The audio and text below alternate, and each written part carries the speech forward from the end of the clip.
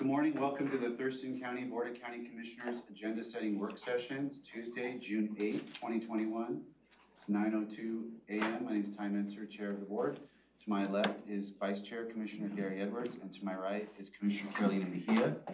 Um, County Manager Miro Chavez is with us, as well as Clerk of the Board Amy Davis, and our Public Information um, Officer Megan Porter. A whole host of folks uh, through Zoom that we'll get to. Uh, We have a lot of stuff lined up this morning. The public can attend along on our YouTube channel or through conference line at 360-252-9020, and the pin for that is 1234. We have, uh, let's see, we're gonna start with the COVID-19 update, homeless strategies, uh, jump to a, um, to a pending hearing, uh, or a item from last week, and then we will go with item four into this afternoon's draft agenda. So we'll start with COVID-19 update, go to county And, manager. and the reason that you had the uh, briefing and public hearing decision pending, uh, item number three, uh, the county auditor would like to participate in that conversation, and she had a conflict later on, so that's the reason you had that on item number three. Perfect. Okay, and let's go to um, Schelli Slaughter, Director of Public Health and Social Services. Good morning, Schelli. Good morning, Commissioners.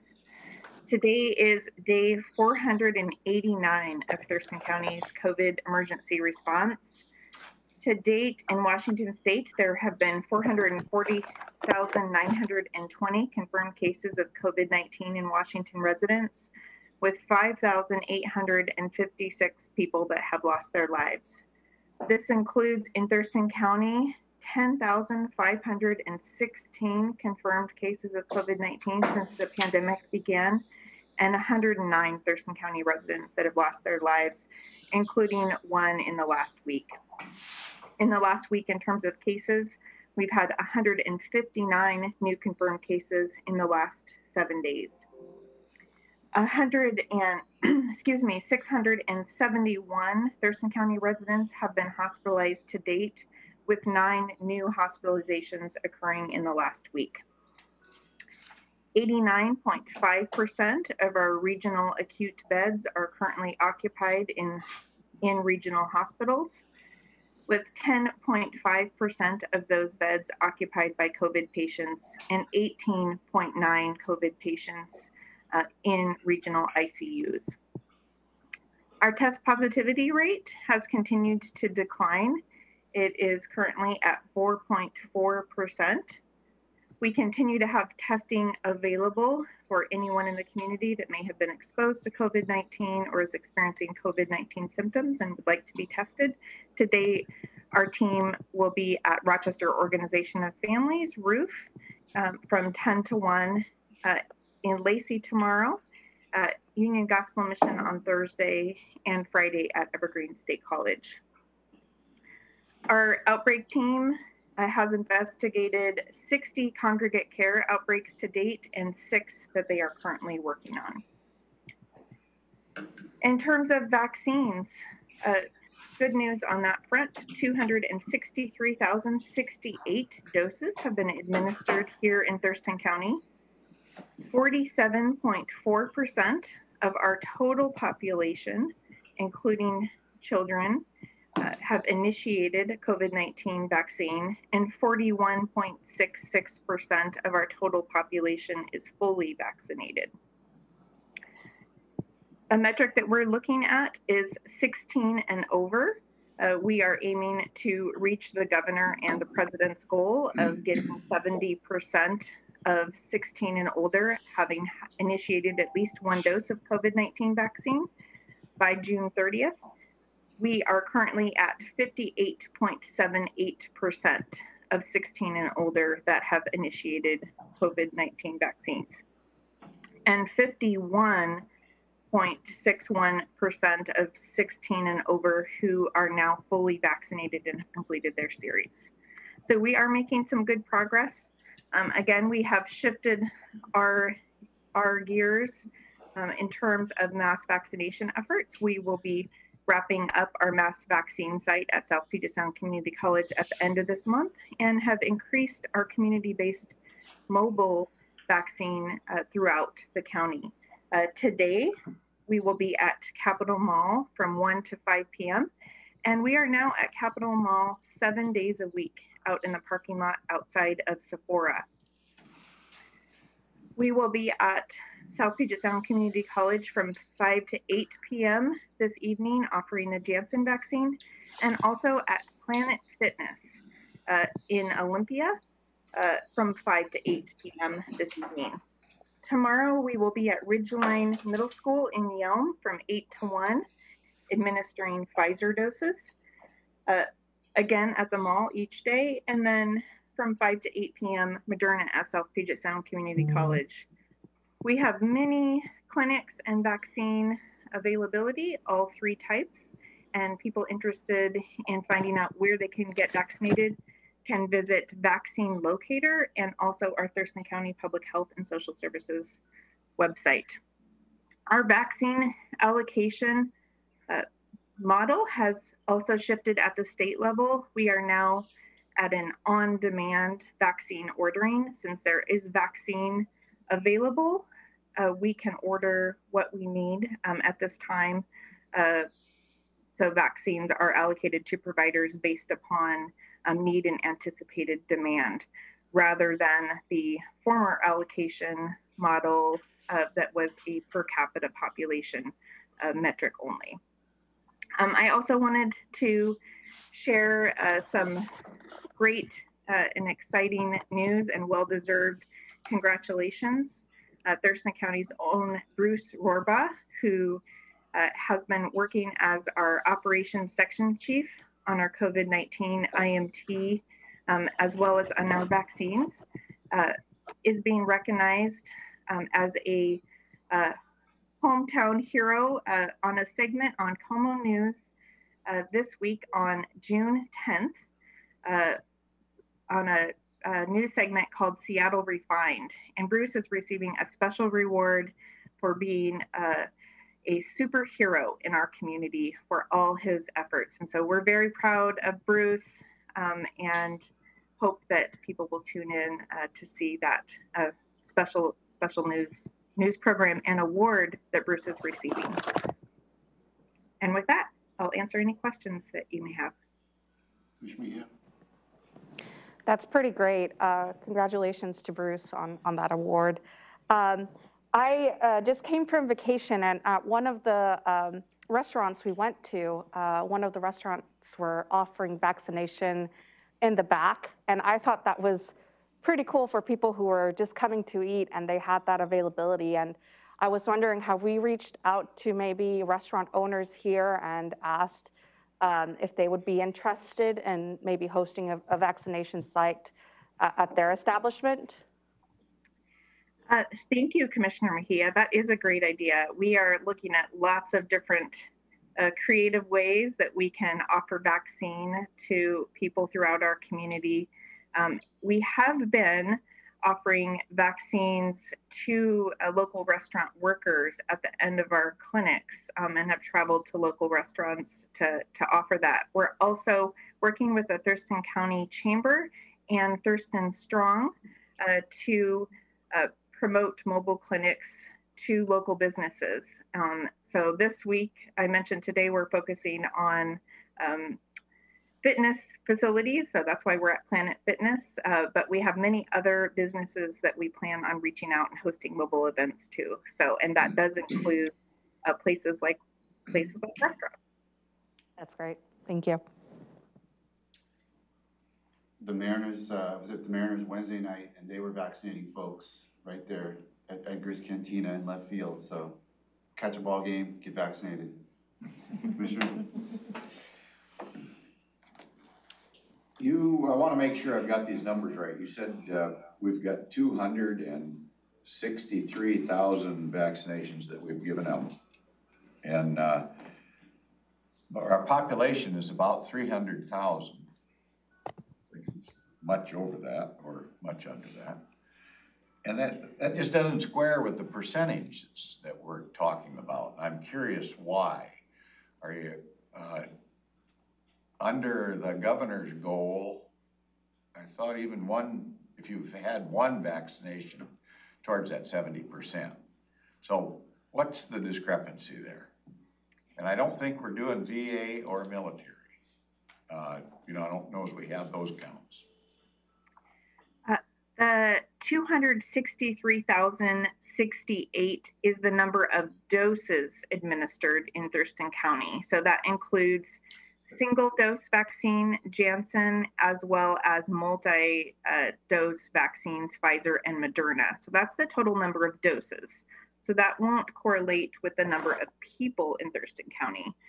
Um, but in terms of reaching that uh, goal that I mentioned, uh, we are at 58.78% of 16 and older of our Thurston County population that has had at least one dose so far. What we're trying to get to is 70% of people that will have had one dose um, by the time that we get to July.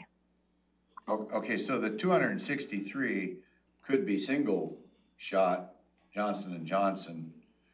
And then it counts twice if you get two Moderna shots or. Yes, All right, okay, okay, just wondering about that discrepancy. Uh, last week I asked about the difference between natural immunity versus uh, a, uh, serum, developed serum. And as far as I know, we don't know how long the developed serum lasts and gives you protection in your body. And we don't know how long natural immunity lasts and gives you protection in your body. Uh, so, but I still don't understand, can you give me a Reader's Digest version of why I should convince people that have had the virus and recovered, why they should go in and get a shot? I'm, uh, a lot of folks like to think Mother Nature has it figured out pretty good. So, have you come up with an answer on that yet? Thank you, Commissioner Edwards. I did confer with our health officer, Dr. Dimyana Abdelmalek, who wasn't able to join us this morning to share this information. But the Center for Disease Control does recommend, as does Washington State's Department of Health, recommend that people who have recovered from COVID 19 um, confirmed disease do get a COVID 19 vaccine shot. You are correct that we do not know yet how long immunity lasts for people that are vaccinated or how long immunity lasts for people that have uh, been ill uh, and have antibodies to COVID 19. We don't know that yet. But um, it is believed that the protection that you receive from a vaccine may confer greater immunity if you get if you have had COVID-19 and you also get the shot also, uh, with the recent development of COVID 19 variants um, throughout the world, um, to include um, in Thurston County, uh, the COVID 19 cases, or excuse me, um, COVID COVID 19 illness that people have had may not have been those variants. We know that the uh, we know that the vaccines have been proven to be effective around many of the variants as this virus continues to mutate. And that's one of the reasons at this point that uh, vaccinations are recommended for people that have had COVID 19. I guess, uh, just as a follow-up to that, as far as you know then, there are no study informations, information available comparing, say, those that got the virus early on and maybe have recontacted the virus versus someone who got a shot and then contacted the virus. We don't, we don't have that information and, and the bottom line, I guess, what I'm hearing from you is just trust us. We're from the government, we're here to help and trust us. And that's, Well- that's fine if that's the answer, but there's a lot of people out there that I can't sell that to, and that's why I'm, that's why I'm kind of being persistent about this is all. Okay, Dr. Abdelmalek is going to be covering this in more detail in her community letter that will be released later this week. Um, and there are many studies happening right now. I think that we don't have enough time, has not yet passed, to be able to develop uh, conclusions from that. But CDC's recommendations um, are based on science, and we encourage people to get their COVID 19 vaccine, even if they had COVID 19 infection.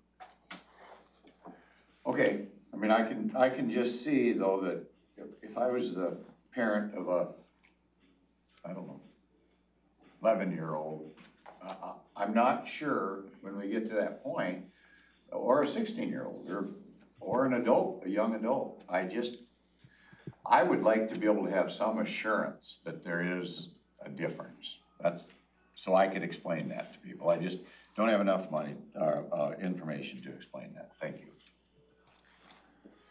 Thank you, Schelli. Thank you.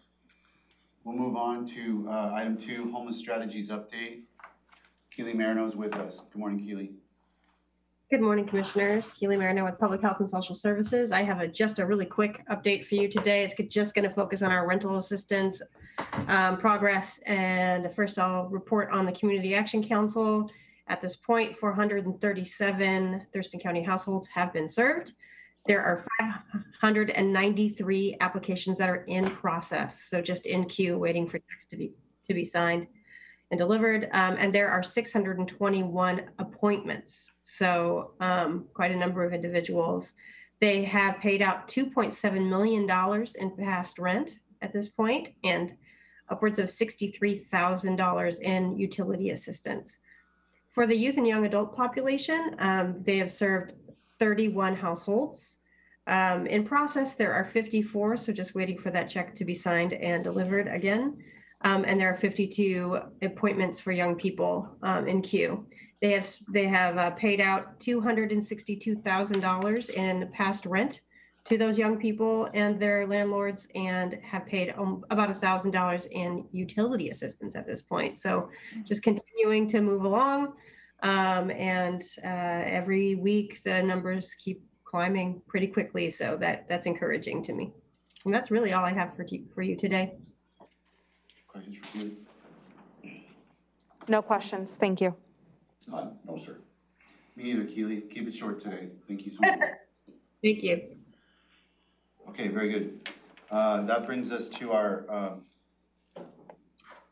item three, briefing, public hearing, decision pending, capital improvement minor amendment. I believe the Thurston County Auditor is Yeah, Involved. uh, Yeah. Um, thank you. Okay, Thank you. Thank you for joining us this morning, Mary. Thank you for allowing me to, you want me to just say my piece? Okay, Hold on, no. Okay, Let me, let me, let me frame the issue, if I may. Yeah, let's, no, we know that, Mary, I know that you have, uh, I know that you have listened to the meetings from last week that, that the board had, but uh, County Manager kind of, Commissioner Mejia wasn't here. Um, So let's have County Manager kind of lay out where we, where we stand with this, and then we can get your input. Uh, Thank you, uh, Commissioners. Um, This is related to uh, a couple of improvement minor amendments. Uh, As as you may recall, uh, they were uh, submitted, a couple of minor, two projects to be included on the capital facilities plan. And that is the the purchase of the Mottman property, as well as including the 3000 Pacific Avenue project. Um, through the process, the, I believe the planning commission uh, had a work session over a month ago, I can't remember the exact date. Uh, As a follow-up to that, they held a public hearing uh, last um, uh, Wednesday, I believe. And uh, as a result of the public hearing, I believe they've received uh, three uh, public testimonies.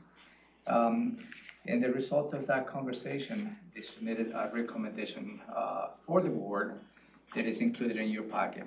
Uh, we finally got the, uh, the, um, no, finally, we got the, uh, the actual written recommendation from the chair of the, of the planning commission. You held a, a, a briefing related to this matter on Thursday, last Thursday, where you have, uh, extensive discussion related to the, uh, upcoming recommendations by the planning commission. The recommendations of the planning commission is included on the first page of their letter. And uh, the first one is not to move forward with adding the atrium project at three thousand Pacific Avenue to and twenty-six capital plus improvement program. And the second recommendation was to delay the decision on the Mottman Complex project until a follow-up work session can be held. On the back of that, on the back of that uh, letter is included a little bit of uh, an addendum which uh, outlines uh, additional information. I hope you had the opportunity to review that. So uh, the reason as to why this matter is before you today, we would like for you to uh, give direction in terms of the, the options the board has. Is to accept the recommendations of the planning commission. If that is the case, uh, if, if the board accepts the, the board of, uh, the recommendations of the planning commission, the item this afternoon for you to consider setting a public hearing will not be needed. Also, the board has the option to modify the recommendations of the planning commission, however you think is appropriate. And the third option that you have is not to accept the recommendations of the planning commission. So, and, uh, in options number one and two, depending on how the board would like to go, then the item this afternoon will have to move forward to set the public hearing before you take a formal action. You're not, at this point, you're not amending the capital facilities plan. At this point, you're providing direction, how you like to proceed, so we can go with a public hearing that at this point is scheduled for uh, June twenty-second, uh, related uh, to the uh, amendment of the, of the capital facilities plan. That is in terms of the process. Uh, I will stop there. Did I miss anything on the process, Jennifer? No, I think you covered it well. Thank you. So as a result of the conversation last week, um, last Thursday, uh, Commissioner, um, Edwards asked, uh, two questions and I have some information for you today. Uh, he, uh, he was, uh, Commissioner Edwards, I believe, asking, what if, uh, the, uh, Mottman property changed hands? Are we gonna be evicted right off the bat? And, you know, my words, or we have options. So we consulted with our prosecuting attorney, and let me read some of the excerpts of, of that. Uh, in, indeed, the current uh, uh, amendment, amendment number one to the lease, and that's, that's what I believe Commissioner Edwards was reading on, on the appraisal of that property, ends on December thirty-first, two thousand and twenty-four. Um, but also, I believe, what was the risk if, uh, if they change ownership and that, uh, uh, lease is not renewed by December thirty-first, after December thirty-first, two thousand and twenty-four?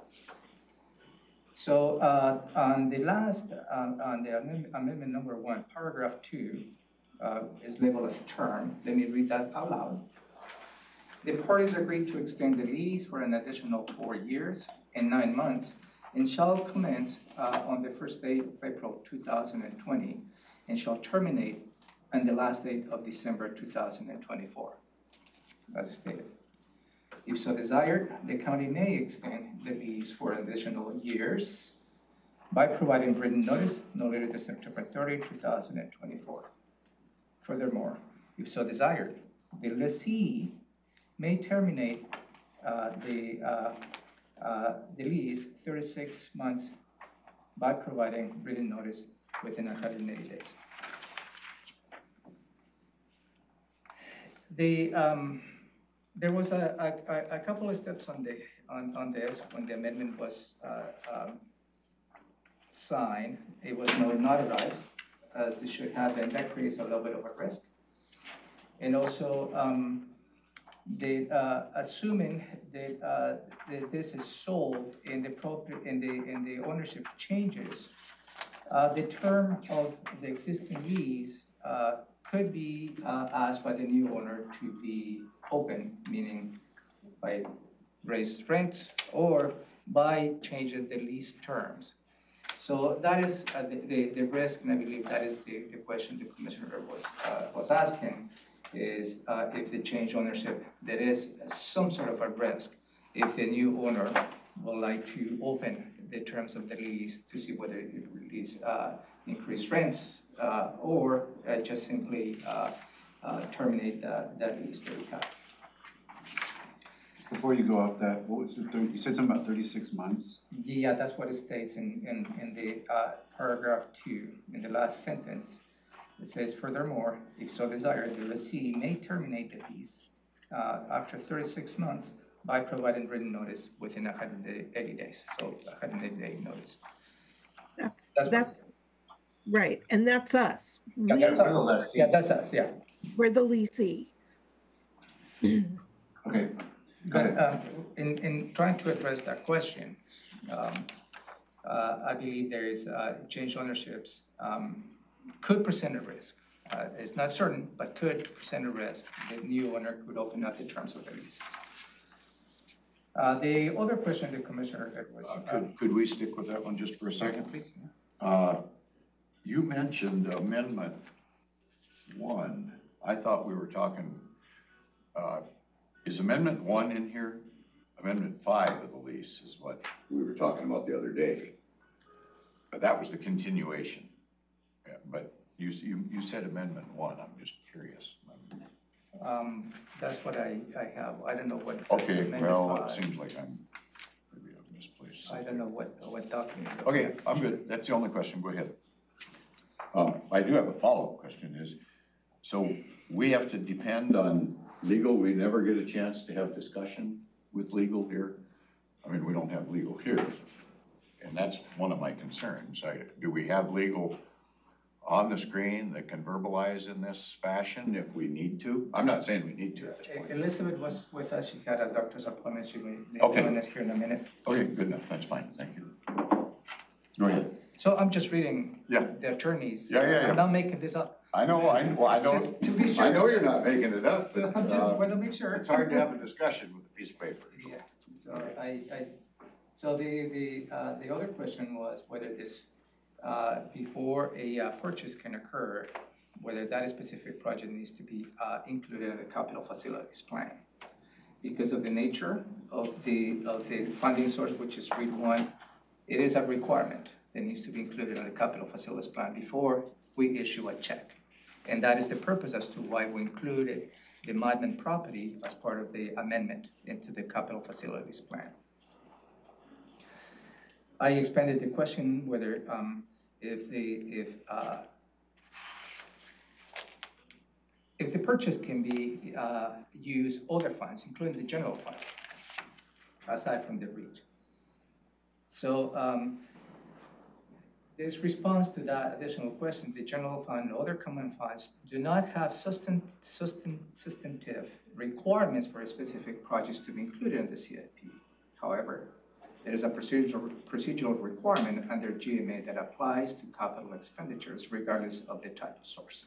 So in a way, it implies that even if, if, uh, if, if uh, we use general fund, it should be included in the capital facilities.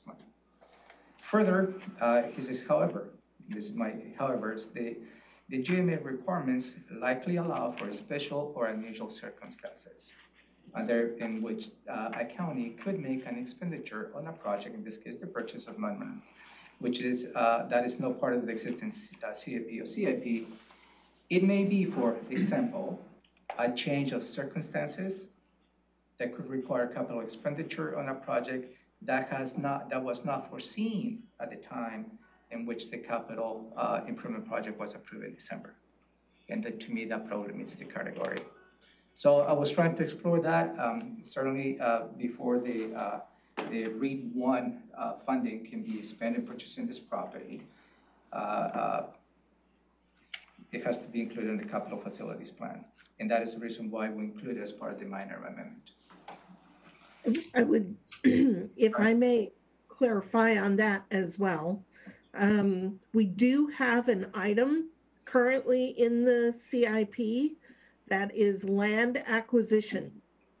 Uh, the reason that we included the Mottman purchase on, uh, the, uh, CIP would be for transparency and to allow us to begin um, building modifications as soon as we have the space when other tenants move out. Um, but we could purchase the building under the current CIP with no change under the land acquisition heading. Uh, Thank you. And the last item that I'd like to highlight as part of my, uh, uh, uh, the framing of this particular um, decision point is uh, last Friday, Commissioner Edwards attended a presentation at the uh, Regional Planning Council. Um, And I forwarded an email to the other two commissions encouraging to watch that presentation. But I did include this presentation in your packet, so it's included in your packet uh, didn't have the chance to uh, review that. So that was the request from uh, Commissioner Edwards. So, and I'll stop there. And, uh, and, uh, and I'm sure, uh, I think County Auditor Mary Hall is here, you know, to provide a perspective, but Let's have, uh, let's hear from the auditor, and then we can. Go ahead, Mary. Thank you, commissioners, for allowing me to attend your meeting. I did take the opportunity to watch the planning commission meeting um, that was, happened last week and also the, your Thursday morning meeting. And I have to tell you, I was really surprised that the Mottman um, complex was not in the CIP. I mean, we've been discussing this since January. This is not new. And I thought it was just going to be a formality. Um, but I have to be honest, I didn't feel that the county's best interest was um, was being taken into consideration at that planning commission meeting. And I really want to apologize to Robin and Jennifer and thank you so much for representing the auditor's office interest, um, you know, with the planning commission last week. I wish I could have been there. Um, you know, it didn't look like it was a very fun or productive meeting, to be honest. And and I know that commissioners and commissioner staff have been working overtime to take care of our needs, not just this year, but last year. And I really appreciate that. And I know it isn't easy for members of advisory boards to always be prepared or ready for meetings. But the job of government is hard and it requires a lot of time. But that should not stop the county commissioners from doing your job. I mean, who could have predicted the death of this owner? This landlord was always really good to us and, and provided just about every tenant improvement we asked for. The only one he didn't was one that we wanted bollard so people couldn't drive up to the building, but he didn't want to modify the concrete. That was the only time he said no. Um, but he died of COVID, and we have no idea what's going to happen to this property now. And I did do my due diligence. I worked with the assessors, uh, commercial real estate staff, their, their appraisers, and they pulled all the buildings in Thurston County that had the size and the amount of parking that we would need for this type of facility. And there wasn't a lot out there. And we also, I also worked with Michael Crow and our realtors to look around because, you know, I, if we were going to purchase this property, I wanted to make sure that there wasn't something better out there. And there wasn't. And we've been in this building for a long time. Um, in the, we've been in the complex since I think the 90s or 80s, but we've been in this footprint since 2005.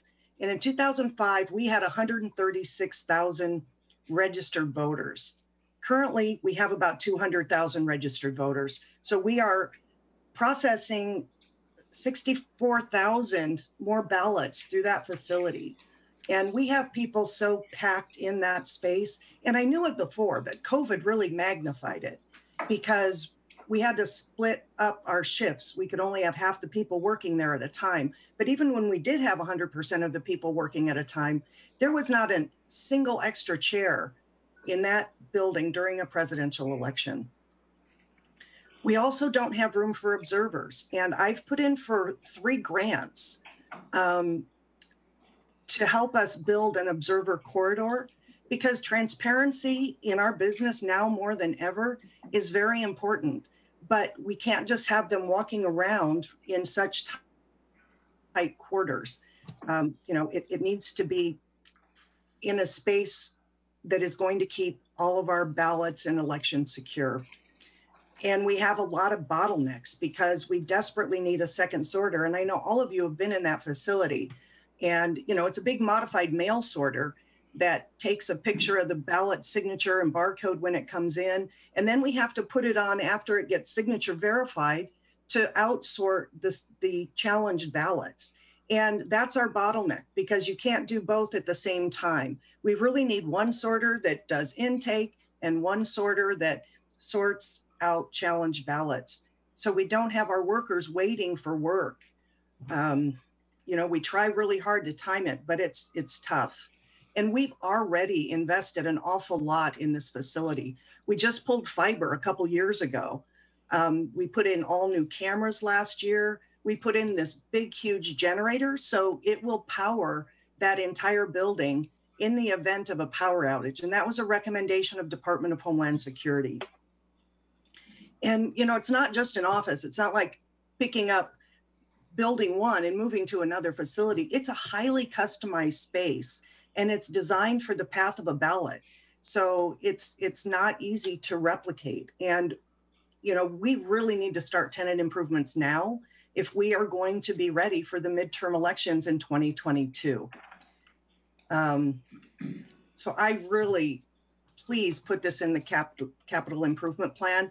You know, if we don't close this deal on July 2nd, I don't know all the details, but you know, it's it's a little frightening for me.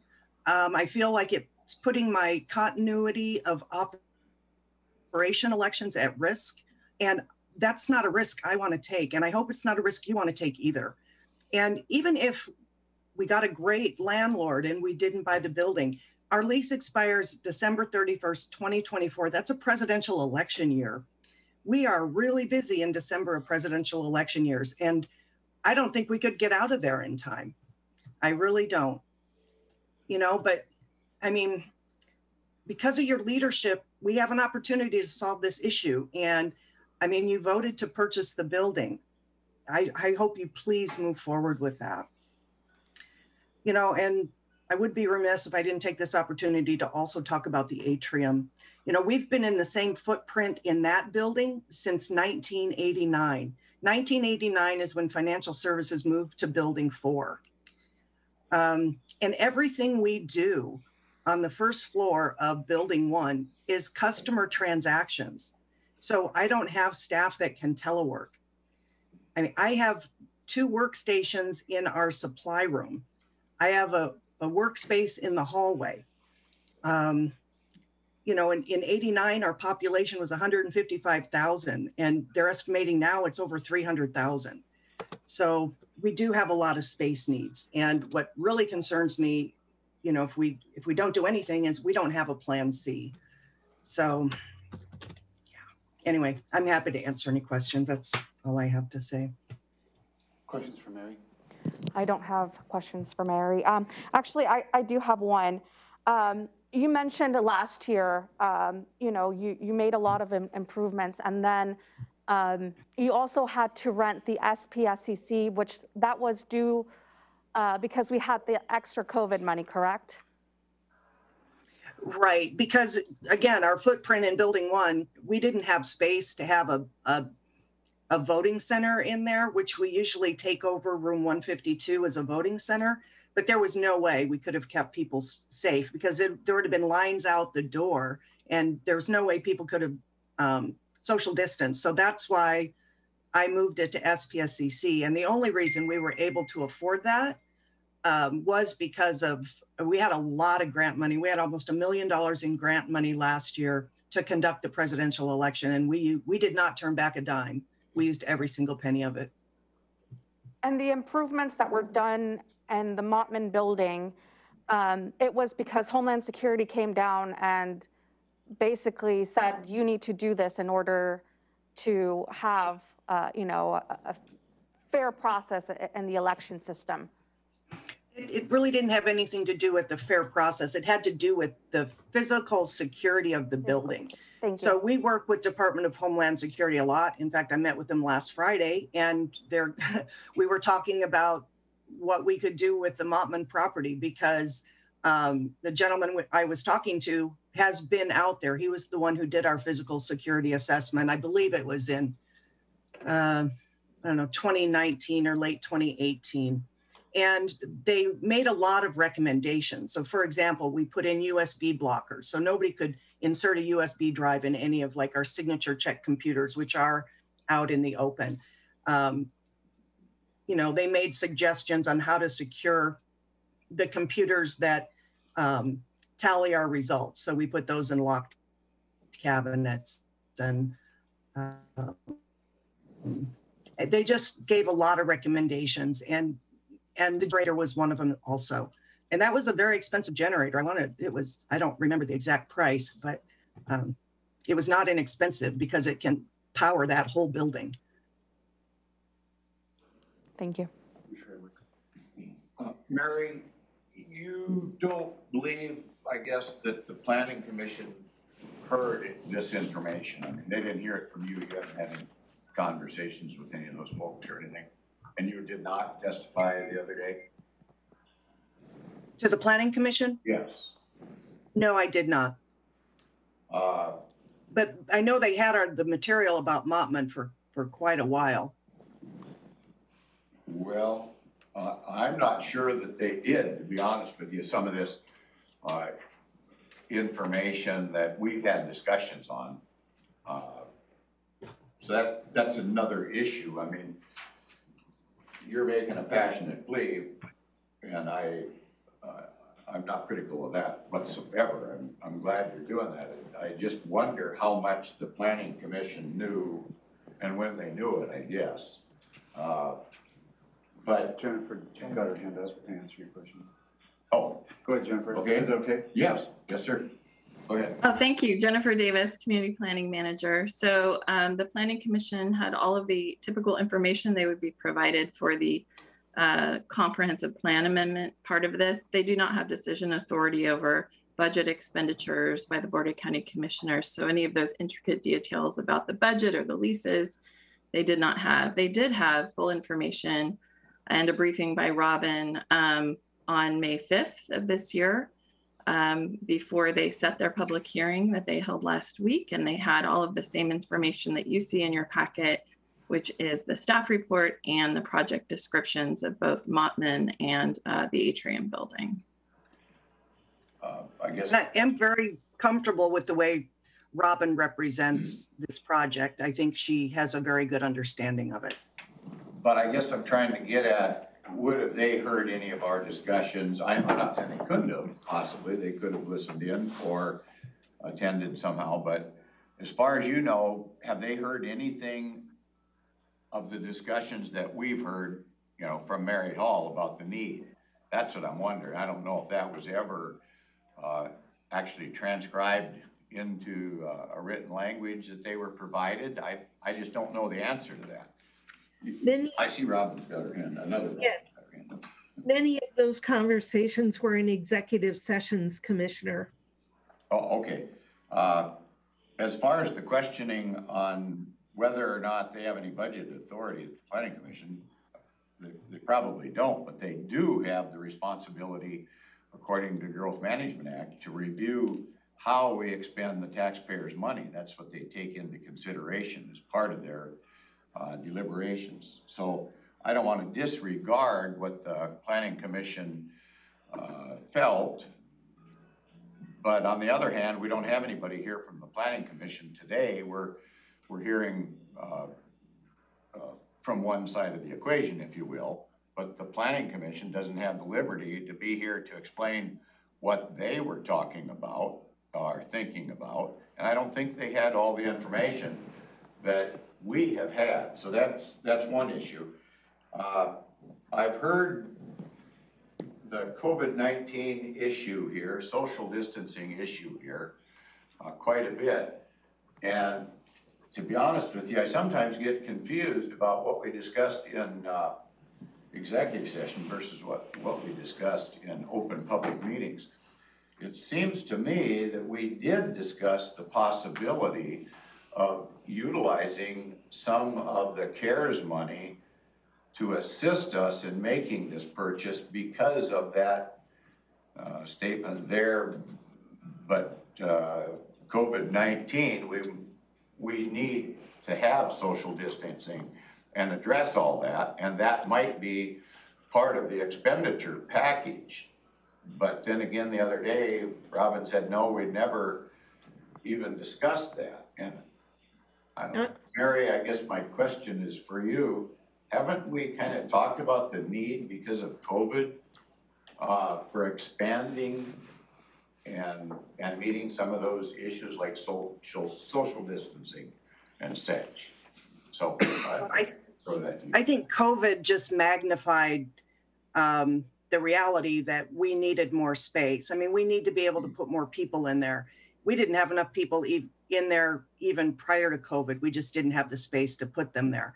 So um, we had half the people working there during COVID. So so yeah, that really magnified the issue. It was a difficult election processing record number of ballots with more ballots than we've ever seen ever in Thurston County. Okay, but I mean, COVID is having a, a devastating impact on how we do business during this Yes, and- election, and we don't know about what's coming down the pike, right? Right. And, you know, I've talked to, you know, our former grants manager, I've talked to um, our internal auditor, and it would, you know, to use COVID dollars would be a very narrow focus. Um, you know, and as the auditor, I, my responsibility is to keep us from getting audit findings. So we could not use those funds in any large way. It would be very narrow in scope. I mean, I'm not saying we couldn't use any, but it would be very narrow in scope and have to be very well documented. So, yeah, I and I wanted another answer. I mean, I was waiting with bated breath for Treasury's guidelines to come out, and I have to say I was disappointed. And um, and in national um, meetings with U.S. Senate staff, I asked for them to please allow us to use some of these funds for infrastructure. But so far, that hasn't happened. Okay, uh, in this, I see, uh, Robin had her hand up, I thought. No? Okay. Uh, I still haven't got an answer, and this is, I'd, I'd like to have this, this discussion with legal. But with the lease agreements, what could have we ended up with as a move-out date had we wanted to push forward with, I don't know if you wanna call them property rights of a renter, uh, with that agreement, I've heard December thirty-first, twenty twenty-four. That was in the written portion of it, but it didn't address the ability to continue beyond that date that um, one of the earlier lease agreements had in it. So, Do- And therein lies the risk.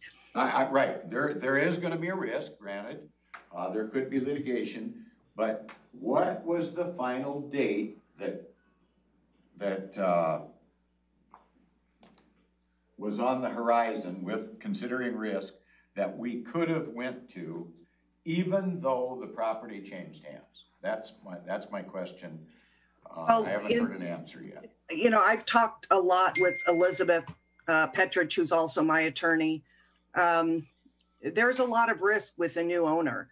I mean, they could totally raise our uh, lease payment.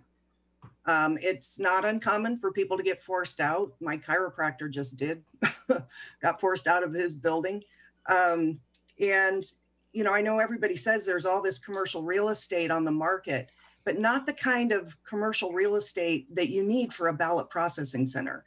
And we've been in this space for a long time. It works for us. The path of a ballot works. I mean, it's not a pretty place, but we don't need a pretty place. We need a functional place. And it's very functional. And we would not be able to move out in December of 2024. There is no physical way possible and not break the law, election law.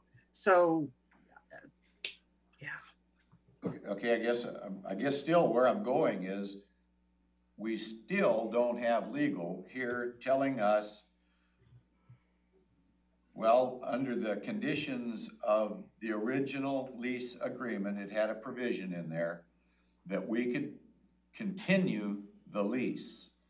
And how that ties in with a renter's property rights, I, I don't know. I think legal probably would know if we had somebody that was an expert in that field. So that's, I, I, I am not questioning any of the need that you've laid out. I am questioning how much risk would there be with moving forward on continuing the lease? We're talking about going to the atrium project, nothing to do with what our discussing is today, uh, at this point. point, and we're talking about expending, I don't know, seven million dollars in upgrades to accommodate an unowned piece of property. I don't know what we're talking about in upgrading the lease, uh, the needs of the auditor's office in a leased building if we move forward in that other arena. So I'm still curious about what the final date that an attorney could tell me, okay, yes, we could go ahead until, uh, two thousand and thirty-two or something. I, I don't know. I'm just grabbing that out of the air. I haven't heard a date that says we could probably do that. Yes, maybe there'd be some litigation around it. I don't know that. We've never gotten an answer from legal on that issue. And getting information in writing does not allow for discussion of, well, what about this or what about that? So I think it's unfortunate for the citizens of Thurston County that the planning commission didn't get all the information maybe it needed, and we as commissioners didn't get all the information that we need. So I see now there's two hands up there, so looks like, Robin can go first. Go ahead, Robin. Um, so with all due respect, Commissioner, you're asking for the impossible. Um, because, um, no one can give you a firm date of when, you know, date certain, we would have to leave if the building were sold. Uh, that depends on a lot of things. When would the purchase be? When uh, would the new owner, you know, what kind of terms could we come to with them? That's all negotiable. Uh, would the new buyer be buying the property to use themselves as we are? Or would the new buyer be uh, having an investment with the intent to lease the space? Would they lease more space to us or would they continue with the other tenants? Part of the reason we're talking about buying that building is Mary needs more room. And we're talking, we are looking at every current tenant lease and thinking about can we ask those tenants to leave? Um, so, you know, we're not able to give you a date, but I see Elizabeth is with us now, and so I would love to turn it over to her. uh, could we hear from Mary Hall before that, just because she had her hand up? Thank you. Um, first, I'd like to say, you know, so we've been in this facility for so long, we've probably paid for it five times over with our lease payment. So um, that's something to consider. And, you know, I did speak with Elizabeth yesterday a couple times, and I understand that the Planning Commission is simply an advisory body, that you're not bound by their um, decision. They kind of just brushed it off. And I'm going to be very honest. I really feel that that meeting was very political, and I do not want to be in the political crosshairs that is happening right now over space. The continuity of my election operations are at risk, and I'm sorry, it is too big a risk for this county. So I would please put it in the capital improvement plan. Let's buy these buildings. I'm gonna jump in real quick. frankness. Thank you, Mary. Um, before I go to Elizabeth, I just wanted to say, kind of responding to Commissioner Edwards, that the, this wasn't just a, the whole decision about Mottman, at least for me, wasn't just a, a dollars and cents. It wasn't like, well, can we save a little money by purchasing it versus what we're spending on the lease and let's, let's cost it. No, it was about, it was driven by what Mary just talked about, the need for more space. Um, And we can get into the ins and outs of how long we theoretically might have been able to stay there, but I'll just put on, on the table, that had not nothing to do, I'm not saying it's irrelevant, but that was not the driver of my decision of, of why. And again, as I pointed out the last meeting, I was the last one to come on board with the purchase allotment, but I did it for reasons that had nothing to do with this issue about what the new owners might do, might we get kicked out, could we save a little money here or there? It was about meeting the needs um, that I've been hearing about from Mary since the day I took office about the ballot processing center. The statistics she gave, you know, hundred and thirty-six thousand registered voters and now we're over two hundred thousand. Um, and we've got additional scrutiny and politicization of the voting, of the, of the, of the election process, which is ridiculous. But we've gotta deal with it and we've gotta be, we've gotta have the right facility to be above reproach. We do not want a situation where our election is, is challenged or questioned in any way. That is a threat to our democratic processes. So the drivers for me really, I mean, we can, I mean, I- I'll give Commissioner Edwards latitude to get into the, the lease and all this stuff, but it's really not what this decision's about for me. I just wanna put that out there. Elizabeth, I believe, is here. Uh, I don't know how much of the discussion she's heard, but are you there, Elizabeth? Yes, I am, Commissioner. I'm gonna let Commissioner Edwards have a key, you have a question for Elizabeth? Yeah, uh, And just to be fair, I've only heard pieces of this conversation and I have not been involved in any of the legal advice related to the um, comprehensive plan, just to, uh, I just wanted to share that. Okay. And I'm trying to put my video on, sorry. that's okay, thank you. Okay. I think rather than formulate a question for you at this point in time, but we'll see what this uh, develops into. We're talking about leases and legalities of leases. It is my understanding that the original lease agreement that's been extended many times for the auditor's office gave certain protections and possibilities for continuation uh, on down the road for years to come.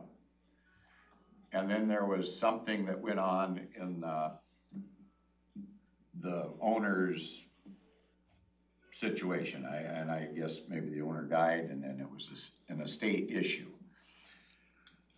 Now we're told that, well, maybe those provisions would hold up, but, but maybe not.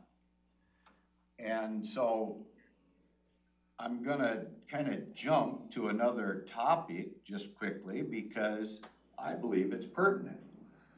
We're talking about leasing another building down in Olympia. Uh, it's called the Atrium.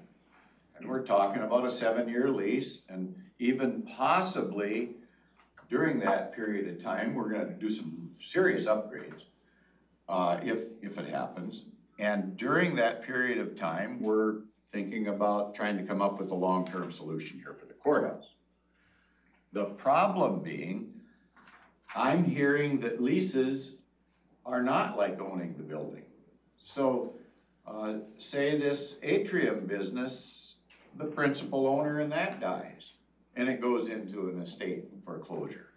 Does that mean they can just break the lease and kick us out? We don't have any more protections than I'm hearing about lease protections now and the provisions that are written into those protections. And that's why I'm questioning this whole thing. I truly believe the planning commission just did what they thought they, uh, hearing a, a little bit about it. I don't think they knew all the information about the need and all that. Uh, so I would like to have somebody from the planning commission, I hope they're, they're listening, but uh, we've had a presentation from Mary, who we wanna do this with, I think we should have had somebody from the planning commission here, possibly, uh, explaining to us.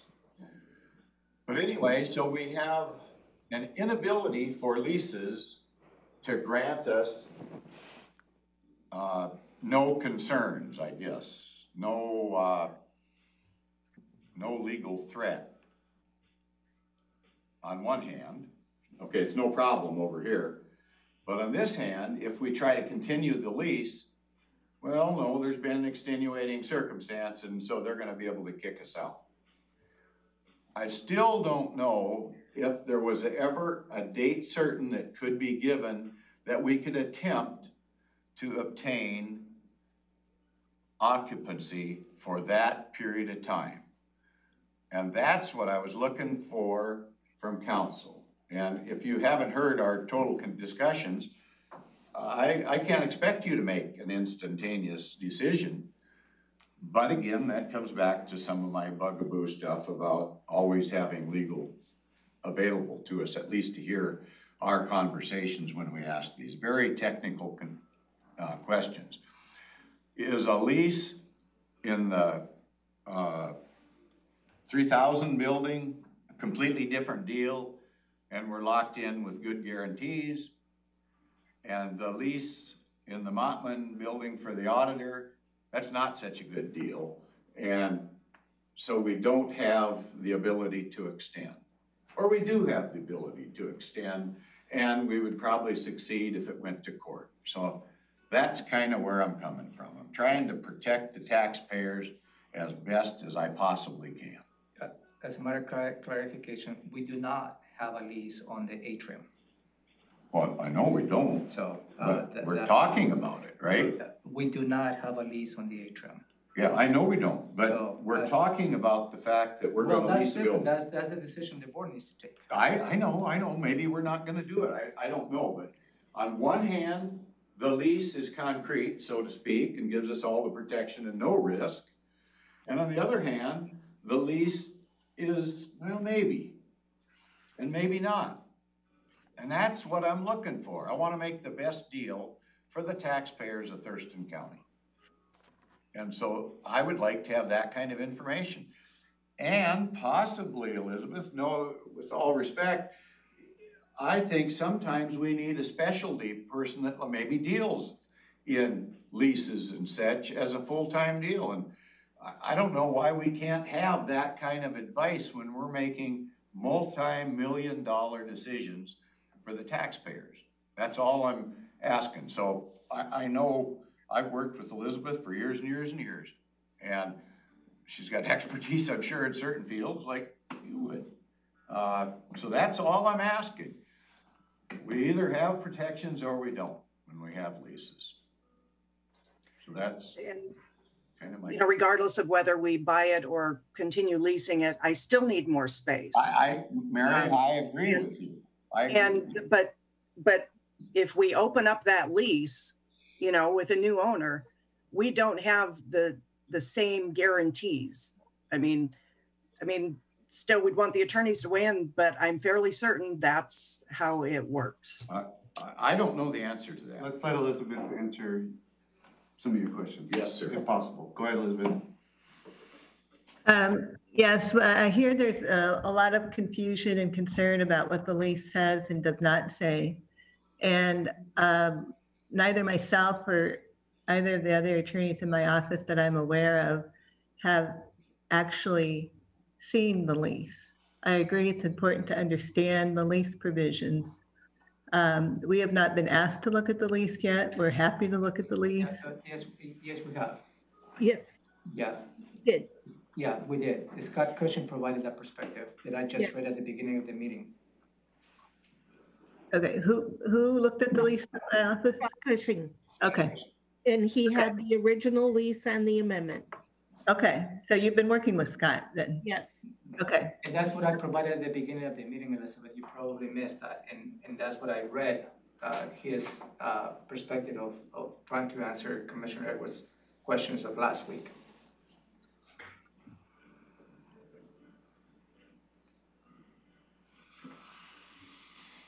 Okay. So where, where are we? So, um, I don't know if you Commissioner McKee would like to. Yeah. See what you missed, Commissioner? You're only getting half of the excitement. I need to jump off and go to another conference, but thank you for allowing me the opportunity to speak. I Hey, Mary, do you have somebody sticking around that's from your office that'll be listening in? Uh, you know, we've got the state election conference going on right now, and we've got some pretty important session that started at ten o'clock. So, um, Luckily, it's all recorded. so- Yeah, yeah, you can watch it later, that's right. Okay. Okay, I do have somebody who just sent me a message that said they will stay on, so, Okay. okay. Thank you, Mary. Commissioner Mejia, what do you make out of all this? So I, I did see um, the video from, um, the recording from last week, and I saw the planning uh, commission uh, meeting um, to try to catch up for today and see what was, where we were uh, headed. Um, I was honestly surprised and, and confused that the Mottman was even a topic of discussion. Um, This has been an issue that we've been discussing since January. This was not a request by staff, it was a request by an elected office that came to us, um, you know, because of this change where uh, the owner had passed away and we had this opportunity. Um, The fact that we're starting to nitpick this so late in the game where we've already approved this and we're now backtracking, to me, it shows the inconsistency. And we cannot keep doing this, um, especially for something that we've been briefed many times over, both in executive sessions and work sessions, uh, where Auditor Hall has, in many occasions, described the need for her, for the space. Um, and, you know, we are, we are this far, and, and now we're trying to backtrack. I just, it does not make sense to me. And, you know, the Planning Commission, again, I, I believe what Mary said, they, uh, they are an advisory board. Um, and I agreed with what Commissioner Menser said at the previous meeting, where in issues where they've had all the work sessions and all the executive sessions, where they've had many hours, where they've reviewed things, um, you know, I, I will take their word on it, but this has been an issue that came to the board, and we've had many work sessions, and we've had many executive sessions, where this issue has been discussed over again, where we um, had a, a report with many other properties, and we saw those other properties, and we saw what would fit, and we didn't find a, a fit, and that's why we decided this.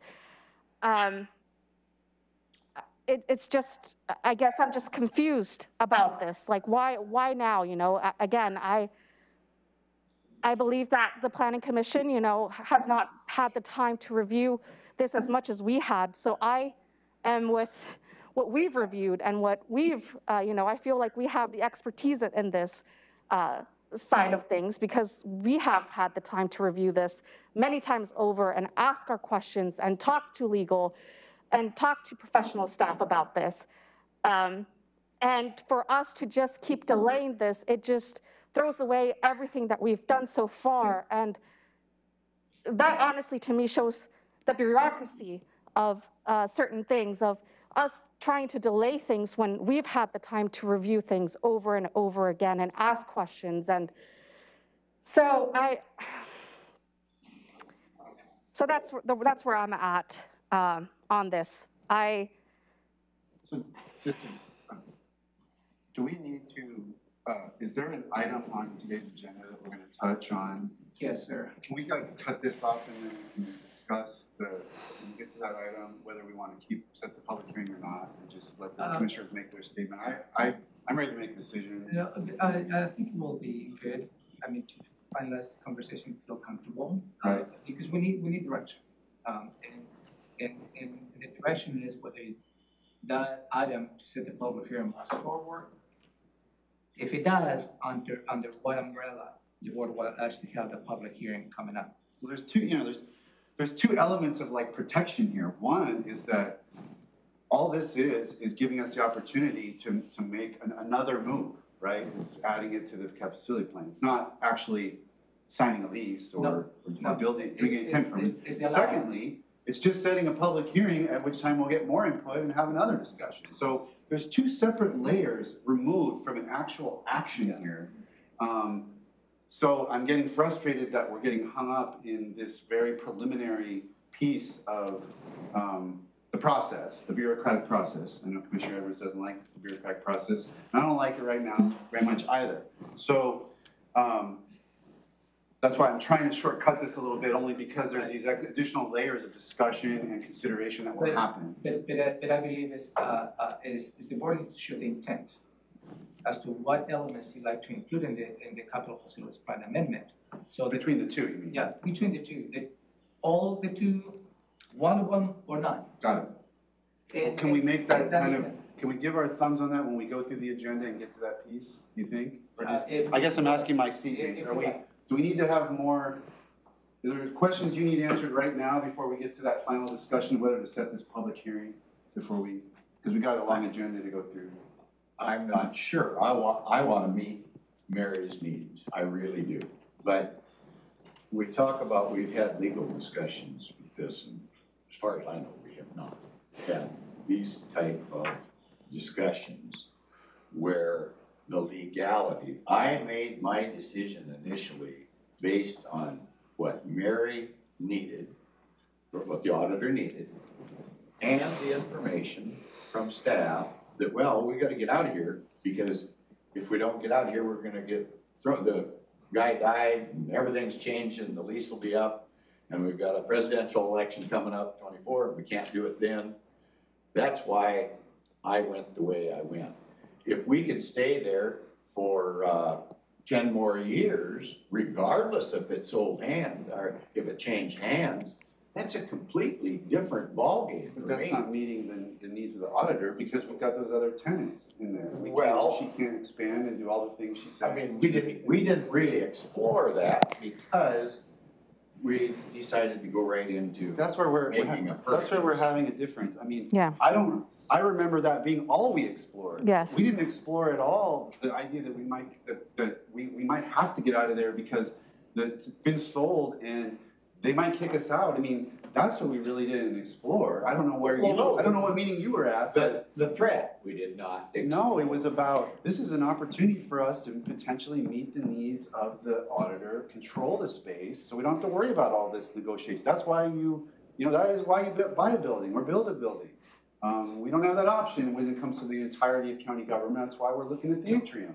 But we do have this limited option with the auditor and the, and a very specialized type of space with ballot processing. And that's what the whole conversation was, from my recollection.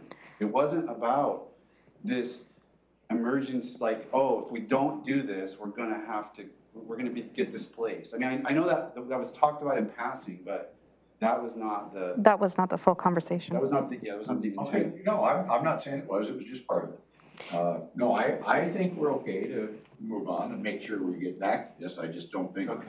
We'll come up with it, regardless of who thinks what, why, I just think that we need more, in when we make decisions, if we don't have all of the information, we can't make good decisions. So, when we're told that, well, you're gonna be out of here, oh, but come to find out, oh no. The lease provisions are different than what we were, than was explained to us, that's all I'm saying. I mean, you get to negotiate a certain amount of certain, you were talking about the certainty, I think is the word you were kind of playing with there. Like, this, what kind of certainty do we have when we're in a lease? Yep. And it's what you've negotiated with the owner. I mean, it might be, might be three years of cer, like in the atrium, it's gonna be seven years of certainty and a couple of certain I hope- options. I think hope so. three more one year. I think we have like ten years of certainty. At that point, you don't have certainty. That's why leasing's not as, not as preferable as buying a building, purchasing a building, you need a lot more money to do that But I don't think we've ever had that answer concrete from on some, that, on Mottman or on the atrium as far as what protections does a lease give you? You've got it written in a certain way, how binding is it?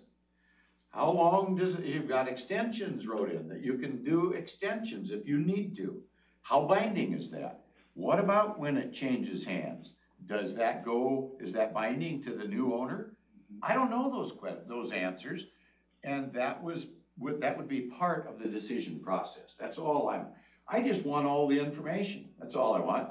I wanna help Mary too, but I don't wanna get in trouble with taxpayers doing something, I mean, we've done some dumb things over the years. We bought a fish plant, and it sat empty for seventeen years, millions of dollars. We didn't use it. We finally got rid of it. We built a jail. It sat empty for about five years before we used it. And even now, it's not perfect. So all I'm saying is I'm trying to make good decisions about what we do. We're gonna fill this building with ballots, I promise you. Okay. All right, well, let's, Okay. um, let's, let's move from what's item three, we'll revisit this again in item four. So, uh, and my, my, my hope is that you have enough time for your executive session, because I have been delaying this executive session for quite some time. So, um, just, County manager's telling us to move a little more Well, let's quickly. work, see if we we can can, do it, we guys. can work through lunch. Order lunch. We'll stay right here. All right, this is a pretty long agenda as we went through last, but we went through it last week and, um, hopefully there'll be less questions today, because we asked a lot last week. So this is a, the, this afternoon's board meeting agenda, June eighth. Meeting gets called to order at two P M. Uh, Vice Chair Edwards will call, uh, will lead the pledge of allegiance. We'll have consideration of the agenda and board meeting minutes and a presentation for LGBTQ plus Pride Month.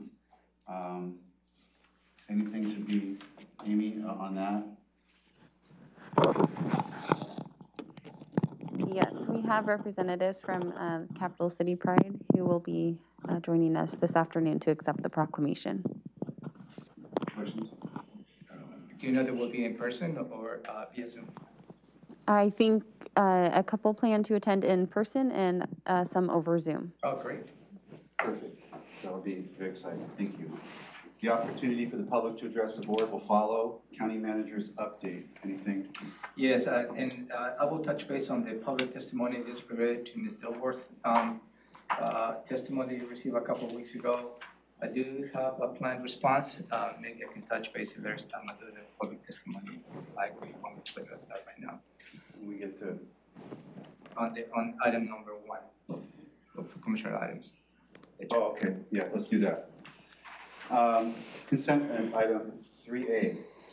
So items three A, B, and C are related to a, uh, the, uh, general obligation bonds that we, uh, uh, uh, refinance and, and so one is to create, uh, really the necessary funds, to manage the, the expenditures and and revenues and expenditure, expenditures of, of, of the bonds. One, the first one is related to the ERP implemented systems. And the, uh, uh, the other two are related to the debt service fund, which is re, we refinance.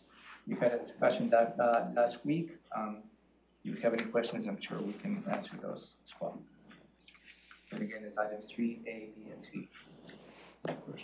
No questions. Let's go to three D, Sheriff's Office. It is a yearly uh, request for you to authorize an applica- authorize an application to conduct the, uh, the, um, uh, regatta event in Black Lake, which is on, on the weekend of July uh, tenth and eleventh, two thousand and twenty-one. And the sheriff's office has reviewed all the necessary elements of this application and is recommending your approval. On the regatta? No, sir. No, sir. I, I wanna say for the record, for the public, that the, some of these items we see for the first time in the agenda setting, some of them we have separate, and so when we, when we go quickly through three, A, B, and C, they're big items, we've had separate distinct briefings with council on those above and beyond agenda setting, so Yeah, Thank you. just making sure folks are clear of why we're moving pretty quickly there. Yeah, I'll be right back. Okay. Three E is human resources. Yeah, the next item, uh, your next item as well is for you to consider reclassification. Uh, uh, senior human, um, senior human resources to an analyst, analyst to a, a human resources analyst position. In this particular reclassification, uh, results on, uh, a reduction of the budget from eight thousand two hundred forty-nine dollars a month to seven thousand six hundred sixty-eight dollars a month a reduction of five hundred eighty-one dollars, a seven percent decrease.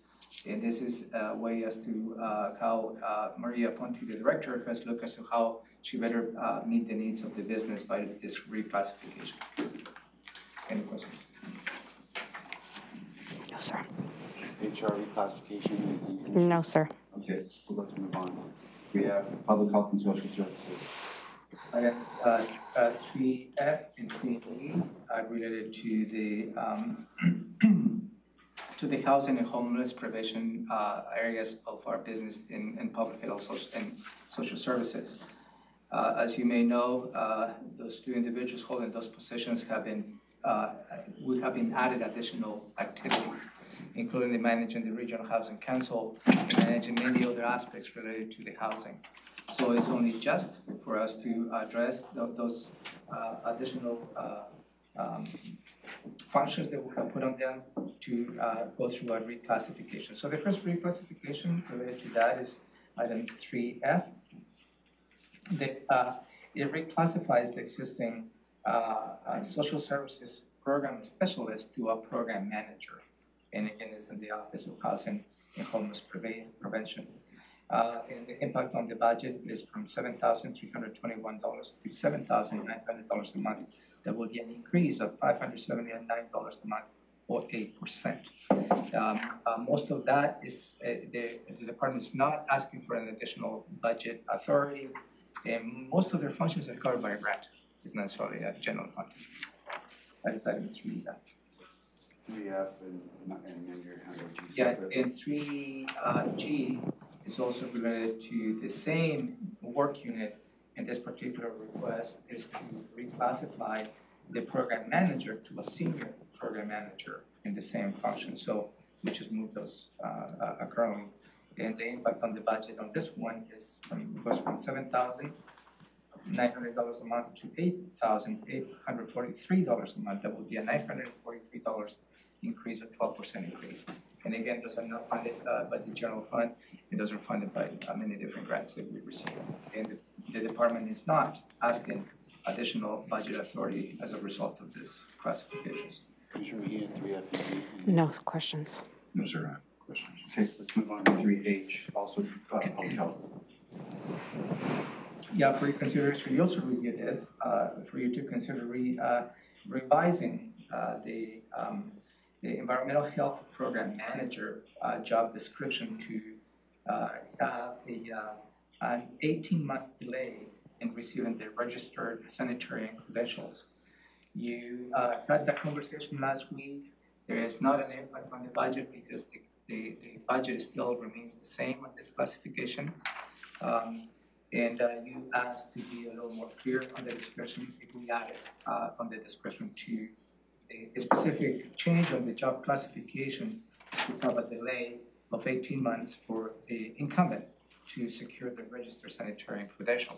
I think that is gonna give us a lot more latitude to uh, and and and recruitment and retention um, of this position.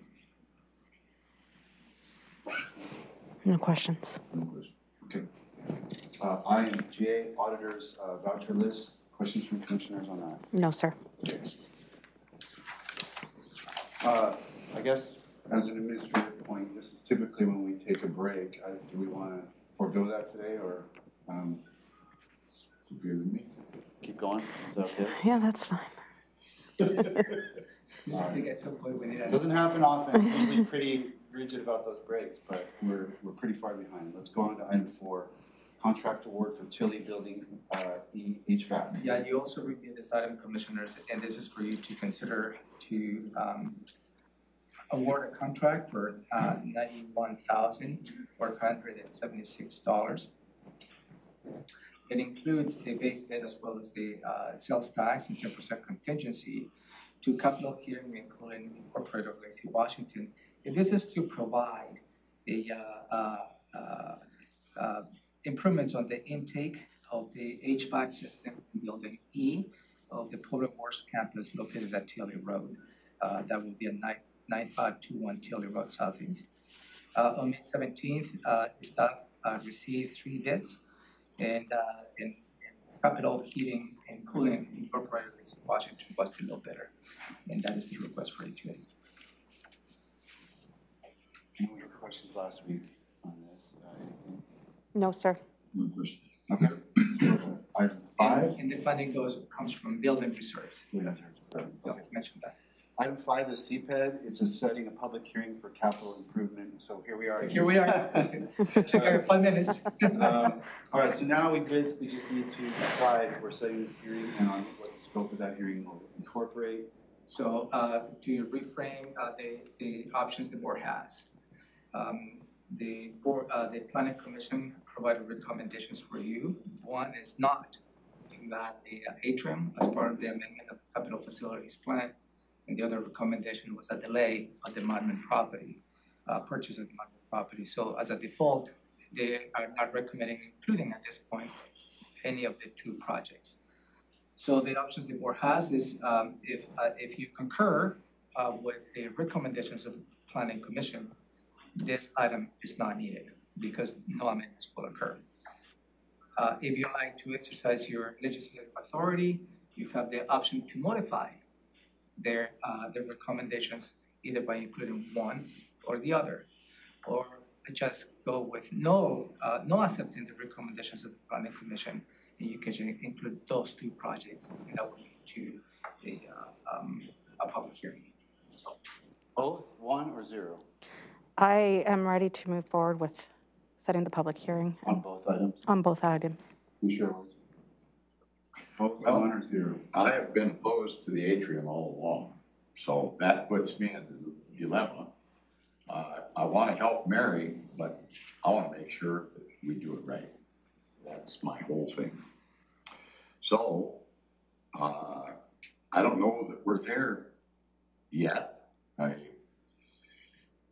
Commissioner Mejia doesn't, uh, I have to say, I respect your position on how can this delay take forever? Uh, but I want it done right, and so I'm probably gonna oppose this because I'm gonna go along with the planning commission. I just don't think they had all the information, and I think they're a group of citizens that have concerns.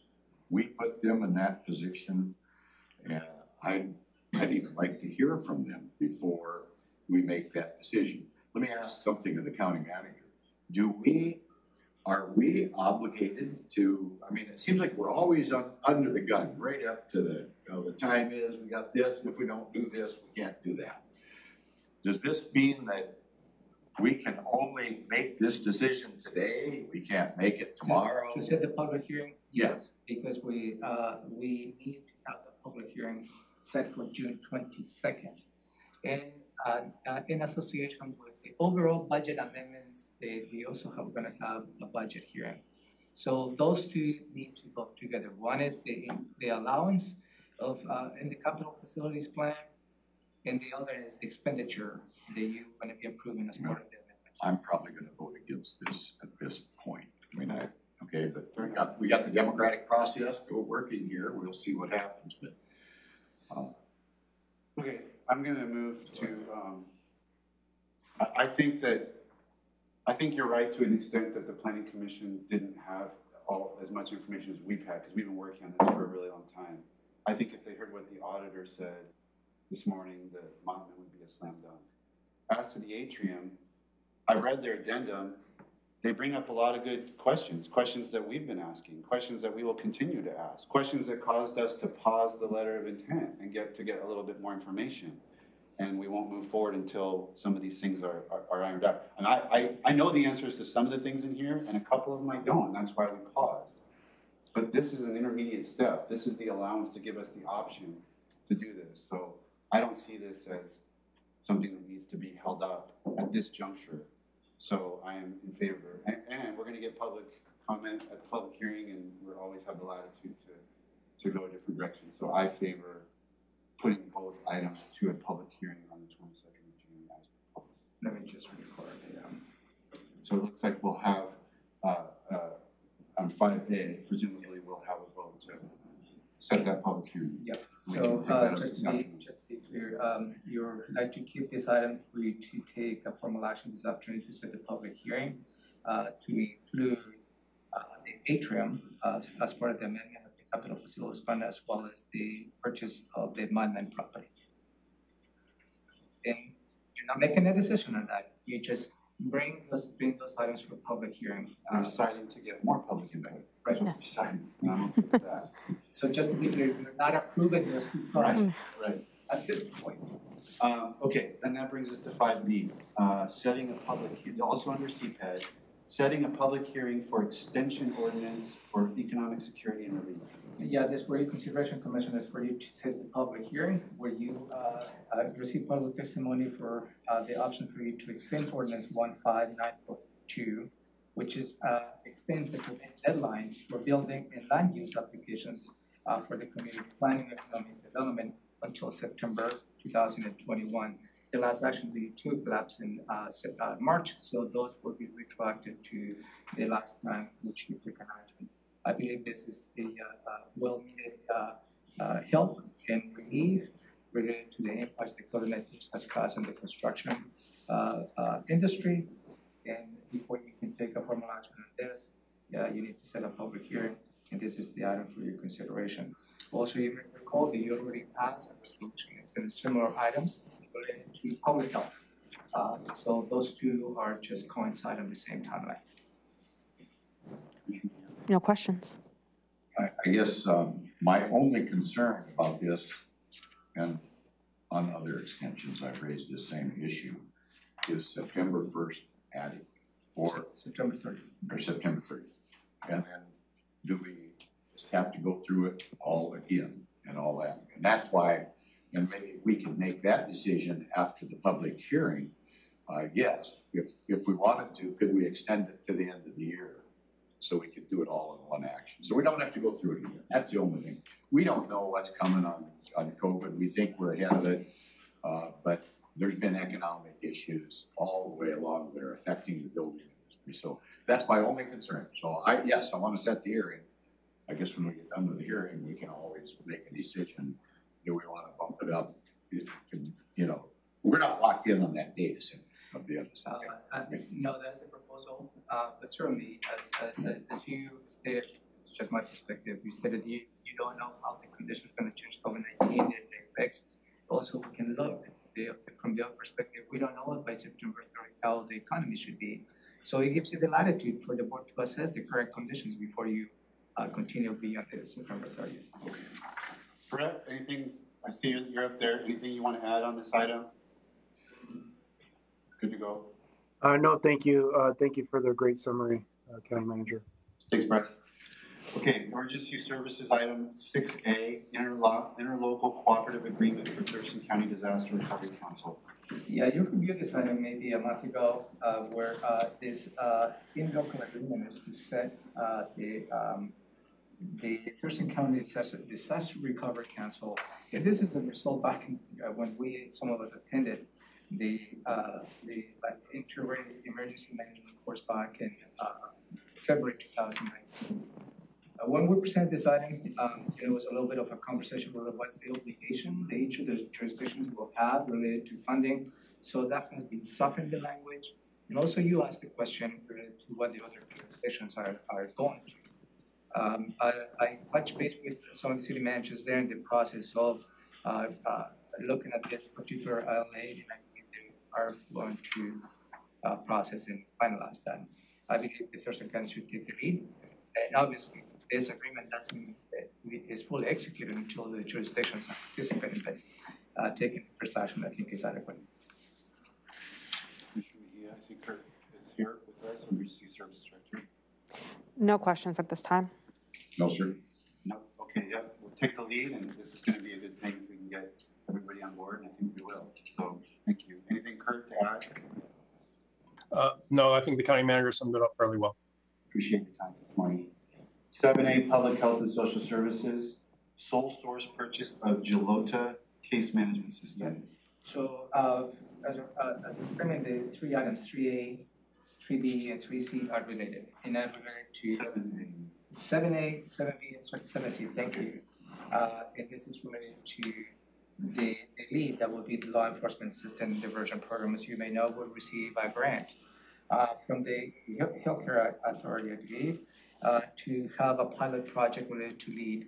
We have been working on this, uh, with, uh, internal stakeholders. So the first item for you is, uh, for you to authorize a sole source for purchase, uh, the software, uh, for the collection management of this particular, uh, element. This is uh, a maximum amount of fifty-two thousand two hundred dollars, and the reason as to, I believe you, you had this conversation last year as to why it's a sole source, because the grantor is requiring for us to use this particular application. So that is why it's a sole source at this point. Question on seven A. The, basically the software piece that goes with lead. With lead, no questions at this time. Commissioner Edwards? No, sir.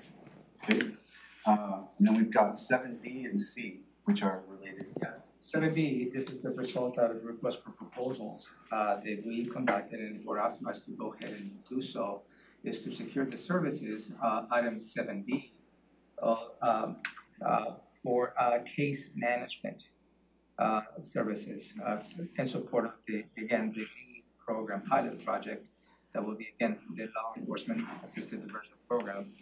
And uh, this particular, the request for proposals was, was reviewed, all the proposals received, and, uh, and the recommendations were to consider award the contract to Olympic, Olympic Health and Recovery Services for the amount of hundred eighty-seven thousand, one hundred and again, this will be for the case management services of, uh, the, uh, the program. And this will go through December thirty-first, two thousand and twenty-one. That's when the pilot, uh, project, uh, supposed to be lapsing. Marianne, I'm is here if you have any questions related to this. Marianne, can you just, this, I think this is really important to, for you to describe the, um, the committee and the, that, you know, making this recommendation. Um, just to kind of have that layer of vetting. Commissioner Edwards and I obviously sit on the board of those organizations and we have been out of this process. So I'd like you to describe where these recommendations are coming from from the RFP. I'd be glad to. So the, uh, the, there was a, uh, two panels in reality because the request for proposals was a two-part. Case management services and program management services. Because uh, case management services are those direct services provided to the individuals who law enforcement refers to the lead program and who uh, voluntarily choose to participate. So those direct services are uh, the case management services. And then there's also the program management services component, which is the next part on your agenda.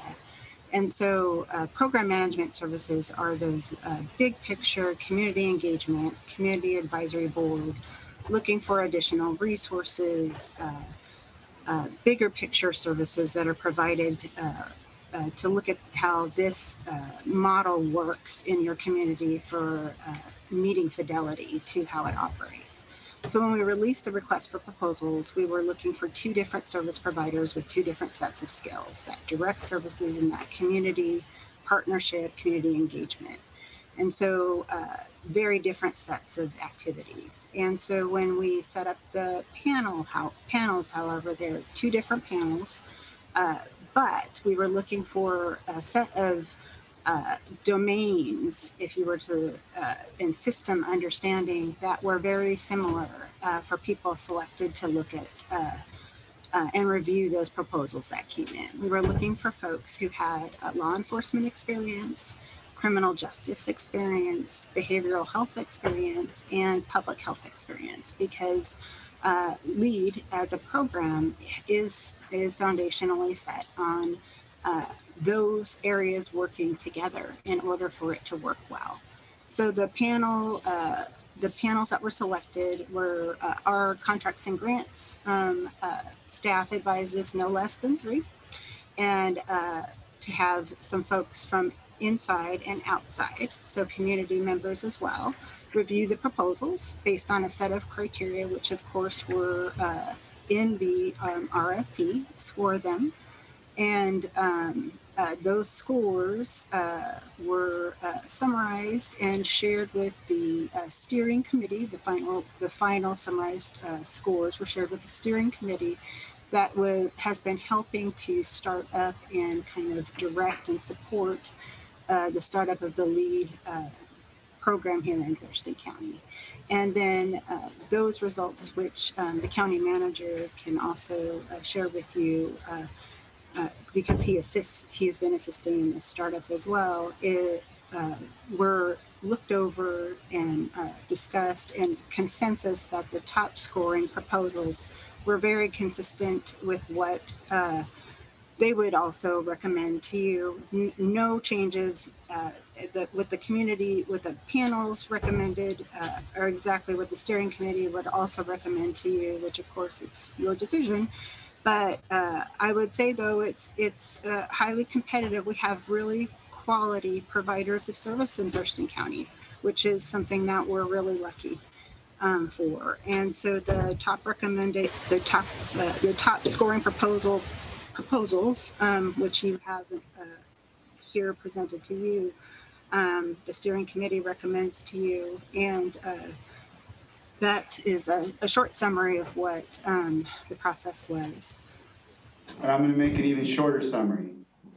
The, the, the scoring was done by the panels, the top scorers were, were, uh, sent to the steering committee, and those top scorers are being recommended to the board. Absolutely, Okay. absolutely. Because that doesn't always happen, I, so I wanna make that really clear. Sometimes a decision is made to go with somebody who's not the top scorer, but in this Oh, case, oh. It's been very much, um, And, and it was, being part of that conversation was by consensus, as uh, Yes. Mary Ann stated. okay, very good. Commissioner Mejia? No questions at this time. No question. Okay, great. Thank you, Marianne. Appreciate that background. Um, that takes us through seven B and C. Let's go to seven D, an interlocal agreement with City of Olympia for scattered site pilot project. So items, uh, the next three items are related to the same item, and this is related to the scattered site. Uh, the first item, seven, uh, E, is to, have, an local agreement with City of Olympia, for Star Guiding, that will be the instrument in which we, uh, pay for some of the services uh, associated with the, uh, scatter site is for two hundred forty thousand dollars.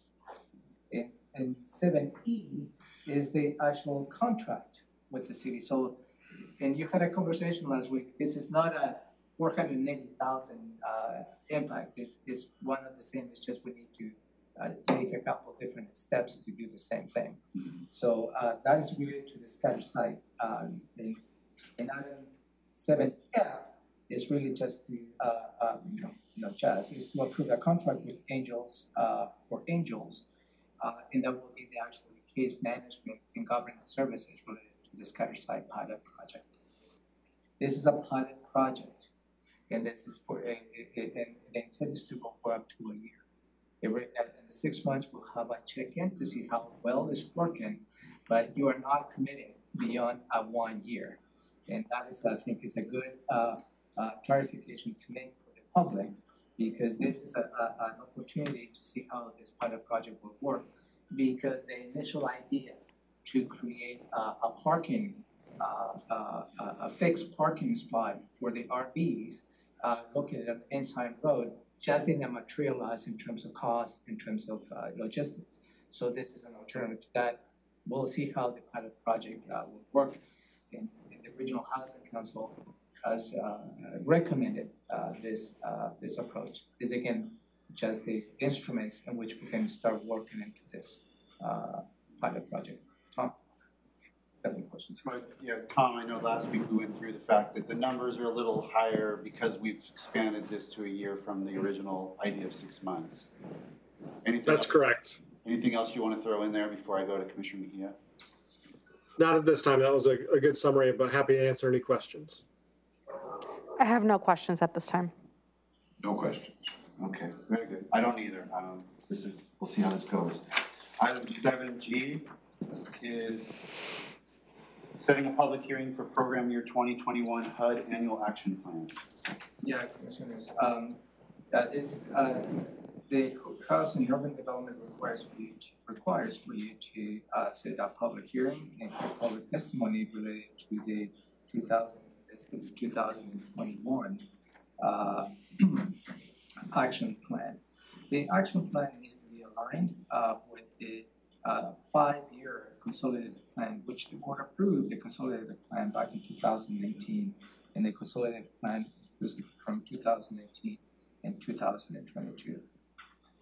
Uh, the, the, the, uh, elements included in this particular public hearing will be the county receives home, home investment partnership, uh, monies, community development grant programs, and, and all those are coming from the US Housing and Urban Development, uh, and provides many different, uh, uh, activities associated with low-income households as well as individuals. And, and next week's agenda for the fifteenth is a little more in detail some of the award uh, uh, grants that you might consider. So again, this is for you to set a public hearing. Well, you will receive a public testimony related to the uh, uh, two thousand and twenty-one uh, annual action plan uh, related to the housing and urban development. And I think Tom is here if you have any questions. Questions on this item? No questions on this item. No, sir. No, straightforward, thank you. Ms. Hahn. Item eight, A, Public Works, contract for twenty twenty-one overlay project for Rainier Road overlay project. Yeah, uh, you also review this item, this is the, uh, for you to award the contract to Lakeside Industry, Industries of Lacey, Washington. It has two elements, the two thousand and twenty-one overlay project and, uh, it's an overlay of Rainier Road, uh, street.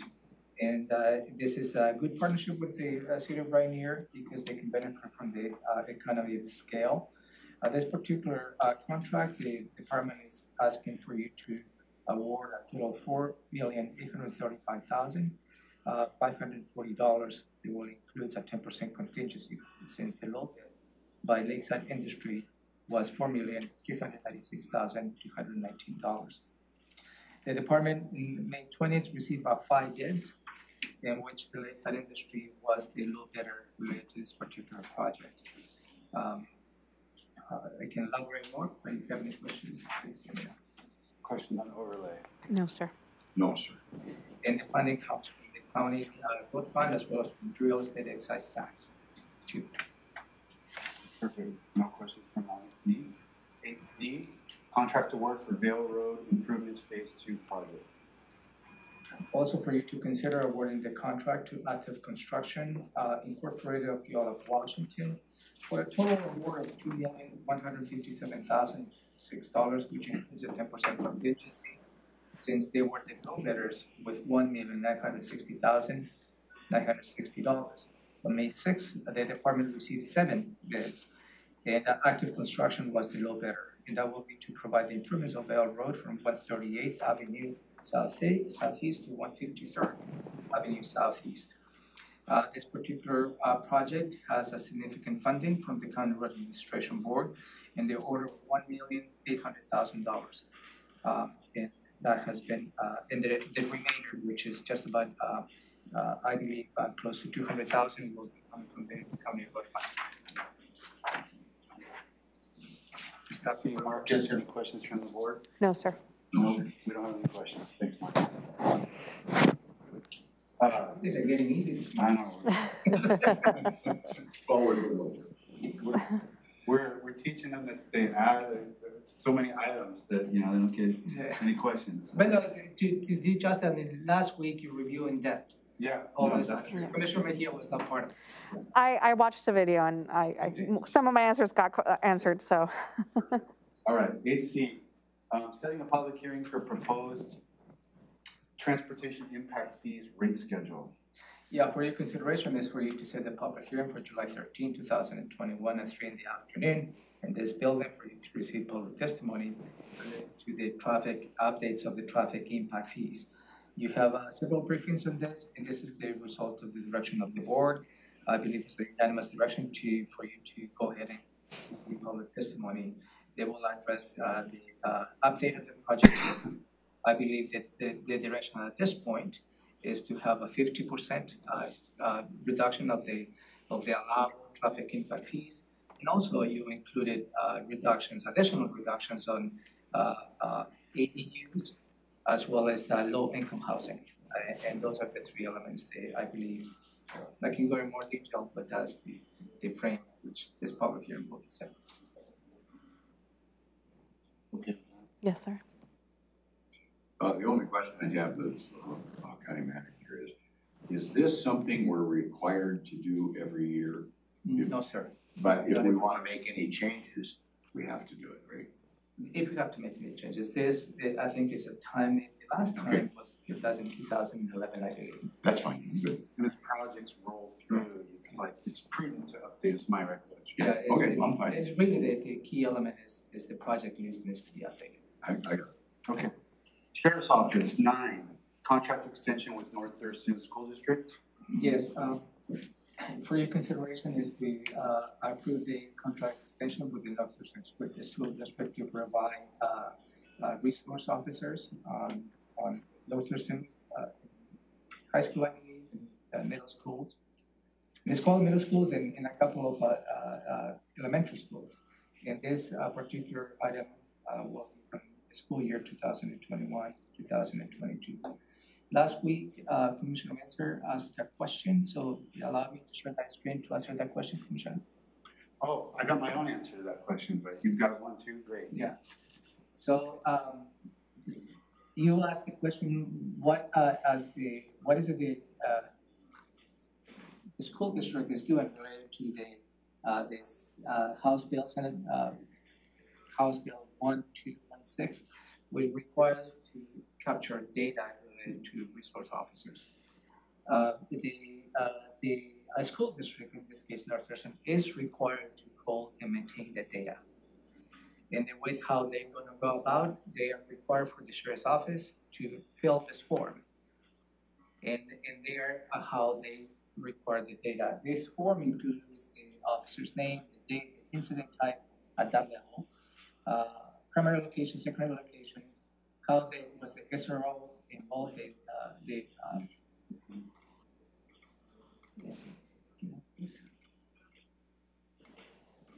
who was involved, affiliation. So there's a lot of information the school district is gonna be gathering at this point. We reach out to the uh, North Thurston School District. They're in the process of building that information. They don't have quite there all that data. Uh, although they provided a model perhaps they'd like to go with uh, the Spokane uh, School District. Uh, and that will be the model they're trying to shoot for. But at this point, my understanding is they don't have a robust data set in which they can provide that. So I, let me, let me just, uh, share what I learned, cause I, this is nice and complimentary, cause you went local and I went to the, uh, Office of Superintendent of Public Instruction, kind of statewide, how is this being handled? And what we learned, uh, cause I was like, did I miss, you know, this is twenty nineteen law, did I miss like some report or something? And no, I didn't. Um, this was a twenty nineteen law, they were building these systems, uh, COVID disrupted, uh, kind of what they were doing. They're back, uh, actually, the, the legislature added some new requirements this past session, so they're, they're, um, kind of creating the data collection, um, uh, mechanisms. They expect to have initial data available at the end of the 2021-2022 school year. Um, in and they're gonna have, they're working on a system for a public facing dashboard and all this stuff that can be looked at, so, you know, I feel, you know, this is something Commissioner Mejia last year when we, and this has nothing to do with the sheriff's office, they're, they're just, you know, a contractual party, but it's really about the school districts and what, what their vision is for school resource officers, because they're controversial and they've not done, they've not been a positive force in some places of the country. I don't think that's true here. I spent the time to talk to the, leg- to the superintendents last year of Rainier and Rochester, which were the two contracts at issue. I was assured of how they were using their school resource officers. They really wanted to keep them. Um, and the state had taken this, this initiative to sort of take a look at it statewide. So I was com- comfortable with that. I just wanted, when this, when this North Thurston contract came up, I just wanted to check in as a board to say, do we know anything now that we didn't know then? And I think the answer is kind of no. But we'll keep our eyes on this and we'll continue to look at it when we get this data and there may be a conversation to be had in the future, but, um, I just wanted to share that with the board, so. Okay. That's where we're at. And I believe uh, Under Sheriff Brady is here to answer any questions. Anything you wanted to add, Under Sheriff? Uh, no, not specifically. I just wanted to say we have a really good working relationship with the North Thurston School District um, and uh, the Lacey Police Department um, to work collaborative, collaboratively on on this program.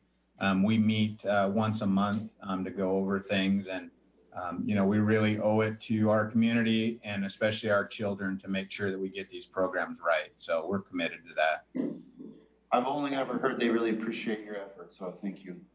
Commissioner Evers, anything? No, sir. Okay, we're good to go, thank you. That's nine A. We'll go to ten A, Superior Court. amendment to drug court treatment services contract with Pierce County Alliance.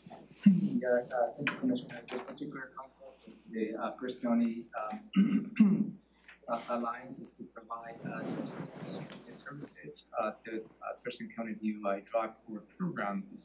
This current contract expires on June first, two thousand and twenty-one, and Superior Court is asking the extension for one month. We allowed in the description that you requested that last month. That's uh, the description, the the extension is for one month. Um, and that will allow, uh, Superior Court to go through a formal bidding process. They can secure the services within next year. You're This- going to add one month? Yes, I, I, I will, uh, this afternoon, so move to approve one, in one month contract amendment. Questions. No question. Good on this one, all right. Eleven is our scanning items. At three o'clock, we'll have a public hearing regarding public works and the development agreement with Poppin Holdings, I believe this relates to Brandon Town. That's a, that's related to a, a, a public-private partnership. And, and this is to build infrastructure, in this case will be a roundabout at the intersection of Highway twelve and Sargent Road. Um, and this is one piece of the larger context, uh, meaning that, uh, over a month ago, you also amend the contract with the Chehalis Tribe. They're also gonna be financially contributing, uh, to this, uh, project. So, um, I personally, uh, it's a long time coming, finally we're getting to this point, and we can really build this infrastructure that will benefit not just the citizens of the county, but as well as will allow, uh, development to occur in that area. No, sir. No, Okay. sir. Board health has been canceled, so this Yes. needs amendment needs to be made on the Just take that out. proposed agenda. And that brings us to item five. So it was critical we get through this afternoon's agenda. I'm gonna propose that we take, uh, maybe seven minutes. Yes, sir. We can be at eleven oh five. All right, good.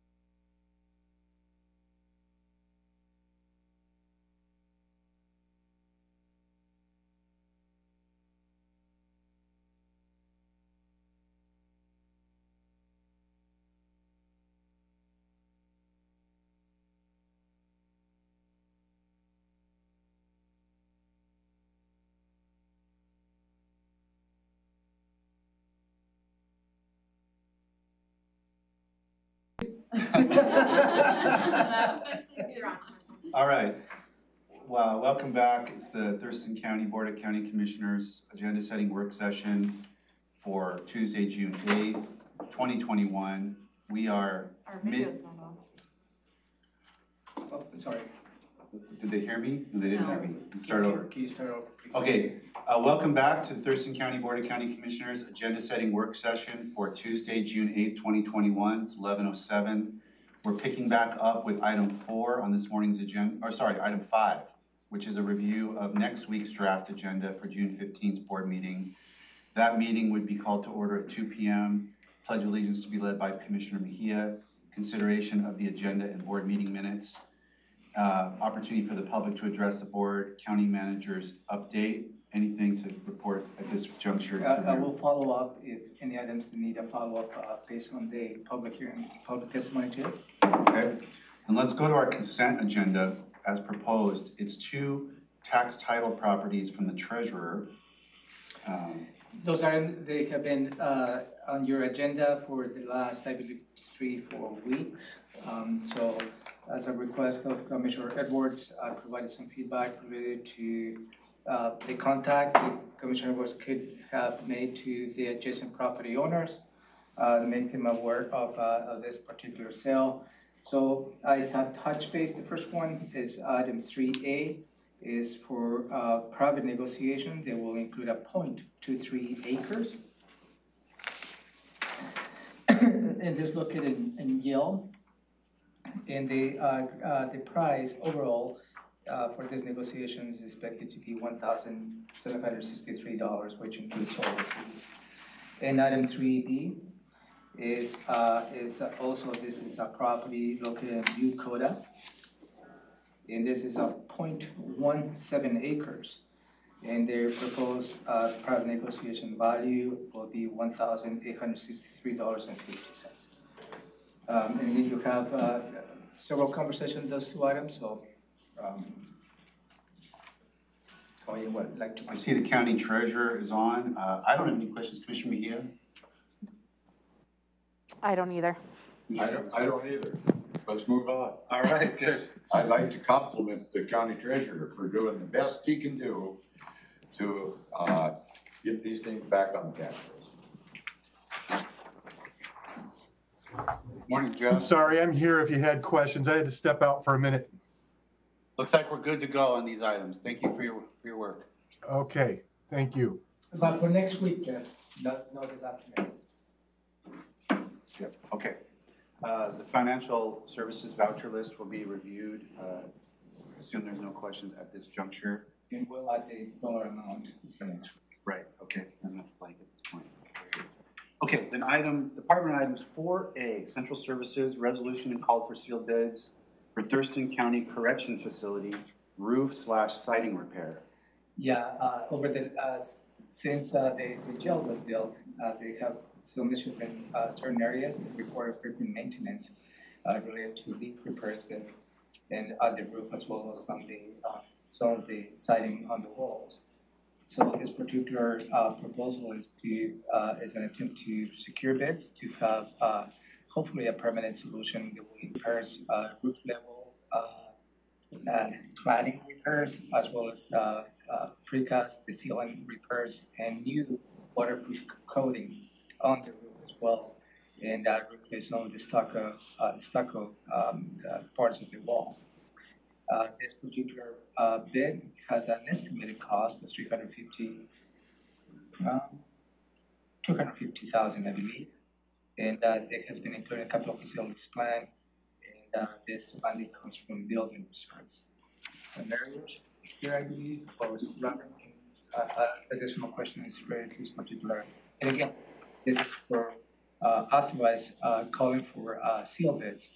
When the seal, uh, when the bids are received, we'll come back with, uh, for you to consider awarding the contract to the Who, who's here? Uh, Robin, I think is available to answer any questions. Go ahead, Commissioner. But how old is this building that we're having to do this? Excuse me, Commissioner? How old is the building? Yeah, how old, what's, what's the deal? Was there a flaw or something happened or? Is this just kind of the course of normal maintenance? Th- This is a normal maintenance prob- project. Um, we noticed that there had been some leaking um, in certain areas along the roof. We've done uh, minor temporary fixes until we could get this project set up. Okay. No further questions. No question. I remember having that same question all the ways back, some of these problems in this building and family court too, were kind of unexpected. um, On the newer buildings. Uh, Public Health and Social Services is five A, twenty twenty-one housing contracts. Uh, Thank you, Commissioners, Uh, for your consideration is for you to award several uh, uh, awards and grants.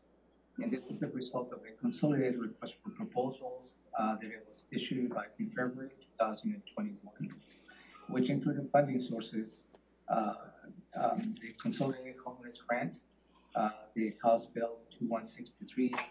uh, th- Those are funds that we know, the House Bill 260, Human Services Fund, uh, the Federal Home Fund. And um, through the process, in coordination with the Regional Housing Council, the county received forty-seven applications for funding. And uh, there was a, a subset of the Regional Housing Council that reviewed the applications, and I believe Commissioner Mejia was part of that, that review that resulted on, on, on the proposal before you today.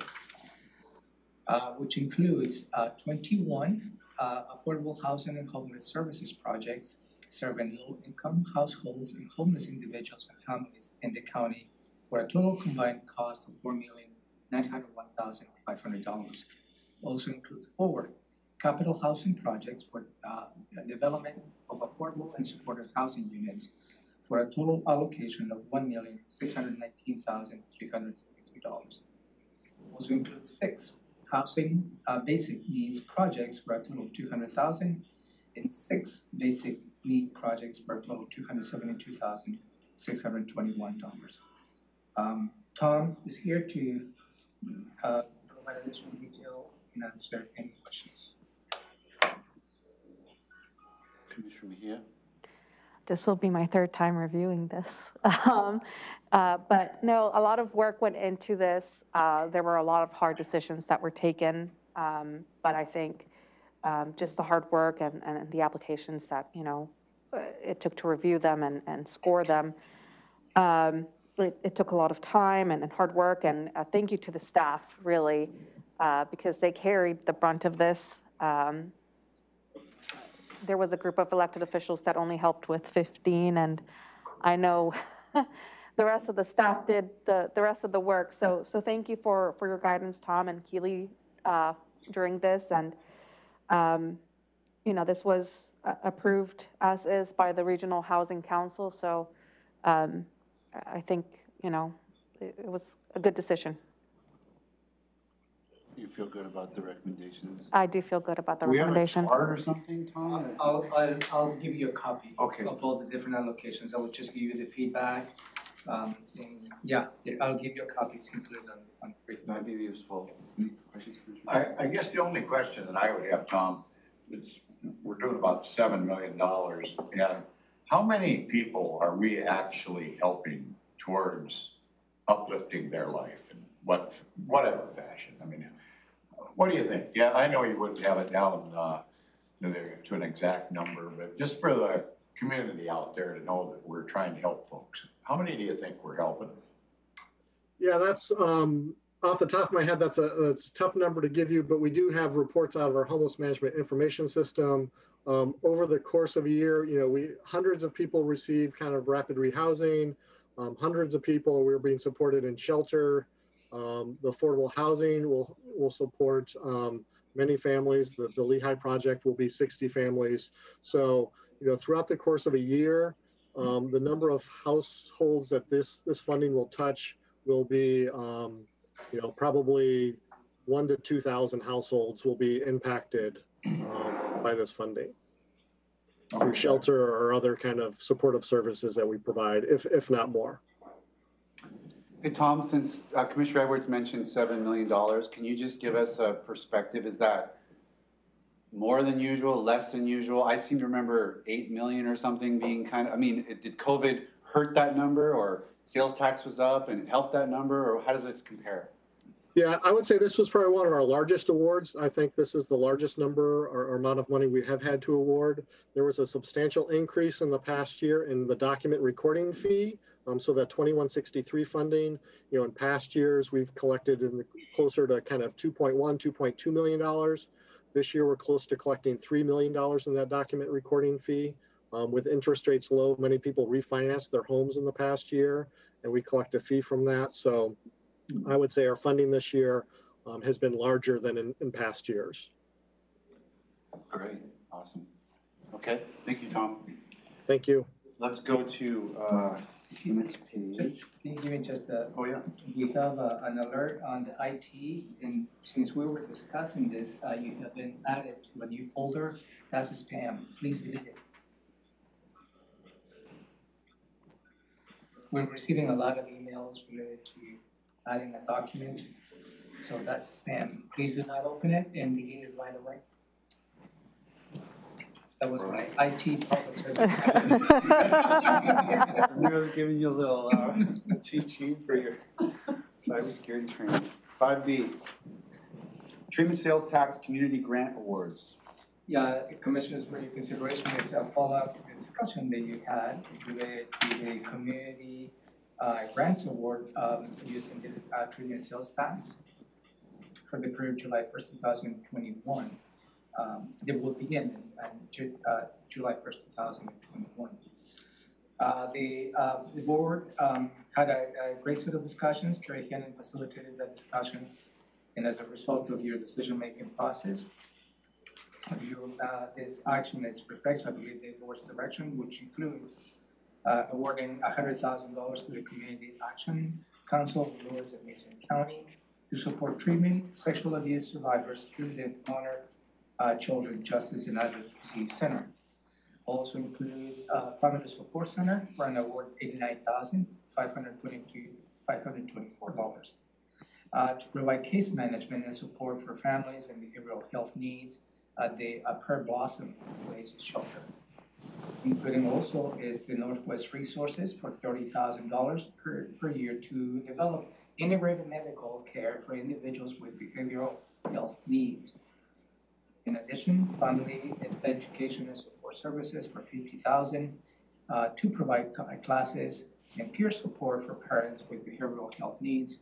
And last but not least is YWCA of Olympia for forty-six thousand one hundred eighty dollars to serve youth with behavioral health needs and its youth council program. And Kerry Henning is here to addition, add additional perspective to this request. Again, this item is just to formalize those awards. We had a couple of briefings going through that. Uh, Commissioner? No, sir, no questions. No questions. We're good, Carrie, thank you. Great, thanks. Uh, Item six is Public Works. Six A is an agreement with the County Road Administration Board, or CRAB, for funding uh, for the one hundred eighty-third Avenue Southwest, US twelve to Sargent Road Southwest. Yeah, thi- this particular item is for me to authorize the director to sign an agreement with the county road administration board to receive one point one million dollars for the project you stated, uh, Commissioner Menser. Um, and this is one eighty-third, uh, to, uh, widening the, uh, narrow lanes that will include shoulders. The total project cost of, the, of, this is two million seven hundred forty-five thousand. The county road administration board is contributing two point two million. However, the one point one million that you see on this agreement is for the first biennium. The other one point one million is already uh set aside from uh CRAB and it will be in the upcoming biennium. So the action for you today is to get into an agreement to receive the first allotment um of the two point two million dollars. Um and I believe Teresa Parsons is here to answer any questions. Questions for Teresa? No, sir. The only thing I'd ask you is, this a good deal? I mean, we were negotiating and we ended up with a good deal. Uh, actually, it's a, it's a grant application that will go through it, um, for when it was grant funding from uh, CRAB, so the proposal be- before you is, is a successful grant application process, absolutely. So Teresa did well, right? Yes. Okay. She's flying in space. I've seen her. The Thanks, final, Teresa. the final frontier, Teresa. Uh, All right. Anything there, Teresa, on this? Okay, Nope, I, good program. excellent. That's a lot of money for the county. Appreciate that. Contract award for Latigo Street and Chehalis Western Trail Spurgeon Creek Project. So the next two projects uh, set aside, uh, and is item, uh, items for, free to consider. Uh, One is for Latigo Street, um, and the other one is for Gate, both uh, culvert replacements. The reasons we have all the excess, we have not opened the bids, we're gonna be opening the bids today, later on today. So we just like to set those items for you to take an action. We already, we've already went through these when we put out the request for bids. Right. Um, I believe they had one bid opening today, Marcus Lee. Okay, Right, right. Marcus, you got a, you got a, uh, Hot off Flash. the press, hot off the press news update? Yes, uh, good morning, Commissioners. Marcus Torvik, Civil Engineer with Thurston County Public Works. So the Latigo bid opening was this morning at 10 a.m. Uh, Gate Road, which Ryan Blazer can talk more about, that's Thursday. So the Latigo bid opening uh, had Quigg Bros as the apparent low bid at one million one hundred thirty-two thousand two hundred fifteen dollars. Uh, we received a total of four bids, and they're the apparent low bidder. So right now we're going through and doing our checklist um, to make sure they're they're the uh, a low bid, responsive low bid. Can you repeat the name of the bidder? Quigg Bros. They're out of um, Aberdeen. Quigg, like Q I G G? Yep, Q I Q U I G G. Q U I G G, that's where. Full-time family. Aberdeen, okay, great. Any questions for Marcus? so we'll update uh, that for next week. Yes. Um, And, and this is just to, you know, expedite the, since the construction season is up on us. So hopefully we can gain a week by introducing this item and the details will follow. The same as the next item. And this is uh, the Gate Road, as you heard, the bid openings will be opening on Thursday. And we'll bring back the results of the bid opening next week with the details of the, of the uh, selected uh, contractor as well as the amount of the bid. Okay, I see Ryan's here. Um, Same thing there, but we won't open until Thursday. Okay, thank you.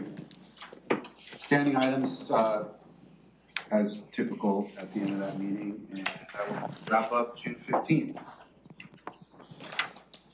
Bringing us to item six this morning, which is proclamations and awards. Good morning, Amy Davis, Clerk of the Board. Uh, The proclamation for LGBTQ plus Pride Month is included on the agenda today. Um, And again, we will have a representative or two from Capital City Pride. I don't know if asked you, but I forgot, in person or by Zoom? I think both. Okay. One will be in person and uh, a few more over Zoom. Okay. Okay. Any questions on the proclamations and awards? No, sir. All right. So we'll move on to advisory boards and commissions. That uh, is item seven. I've included the applications of Mercy and Glenn for the Agriculture Advisory Committee, since they are on hold, so to speak, until after the committee's next regularly scheduled meeting of Thursday, June 17th. So we'll just They're just delay discussion on this item. Okay? Very good. And that'll bring us right to PIO check-in. Good morning, Commissioners. Megan Porter, Public Information Supervisor.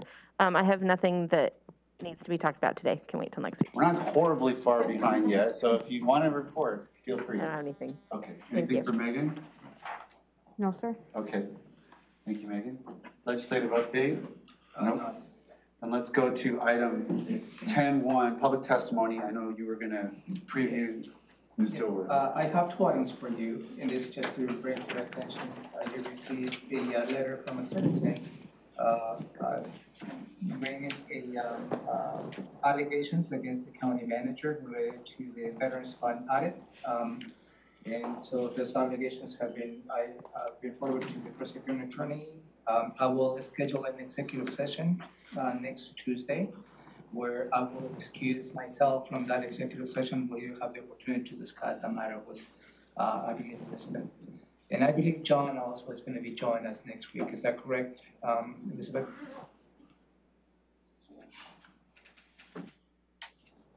John, the county prosecutor? Yeah. Okay.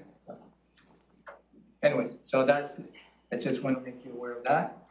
Um, also, um, I'd like to respond to this afternoon to Ms. Dilworth's, um, um, uh, statements that have made on a couple of occasions. This related to their, her property, and, uh, paraphrasing what her comments was that the zoning has changed after they changed hands. So, um, I don't know, th- this response has been vetted by the prosecuting attorney, considering that there is a, uh, claim against the county, but I think it's, it's worth just addressing the, the court issue. So all research indicates that the zoning of the parcel in question has been residential for a long time, going back to at least nineteen eighty-three. It Has been what? Residential. And has not changed. The scanned documents that Ms. Dilworth provided appears to be a document generated by the Sigma SQL system, which is a system used by the assessor's office. This information is related to tax, tax assessment and tax use code designation, not zoning. And that's how the assessor goes, and that is the documentation that. Dil- Dilworth uh, provided. Do we have a copy of that in here, any chance? I can give you a copy of this, No, it was provided okay. to you. Yeah, I was just wondering, go ahead, sorry. So it is presumed that the designation of commercial uh, was assigned by the assessor's office related to the former use of the building, which is the, it was in the property of the fire station. Then his perception will be that the property changed hands and the use of the building was no longer a fire station. So uh, as a result, you know, that use didn't carry with the new property owner. The use moved on as the, uh, as- the, uh, uh, the owners changed hands. So, um, in August two thousand eighteen, uh, I believe the assessors created a note, the change in, uh, the use for tax purposes, and I believe that's how, um, perhaps, Ms. Dilworth is saying. The assessor is, is, is seeing the use in order to assess the taxation.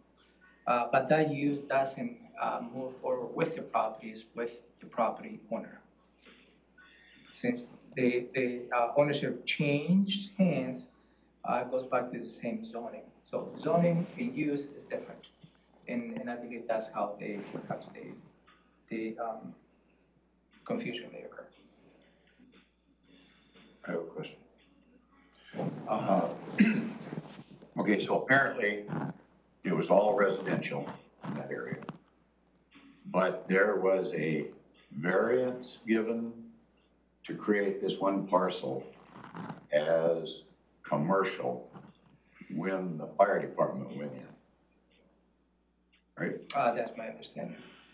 And does the fire department pay taxes?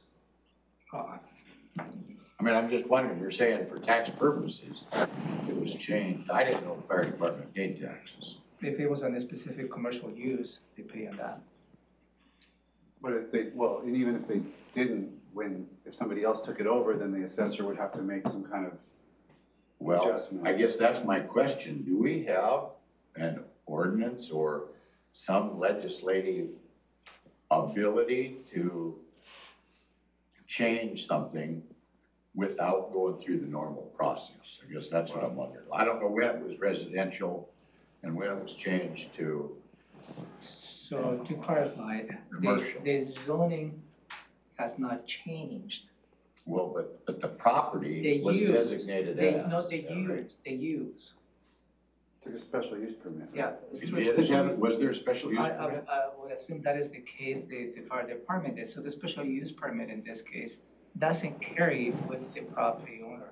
Or it doesn't even That's- carry, it doesn't even carry with any other activity. I mean, there, I, what I've learned, and I'm not a legal expert in this area, but those conditions and those permits are, are tightly constricted. I mean, if you change one aspect of what you're doing, you're, you can be out of compliance with that conditions of your special use permit. So the idea that I would sell you, I'm doing a fire station and I would sell you, if I sold it to you and you wanted to continue a fire station, maybe that works, I don't know, but but it, but if you change in, into some other kind of business, that's not gonna work.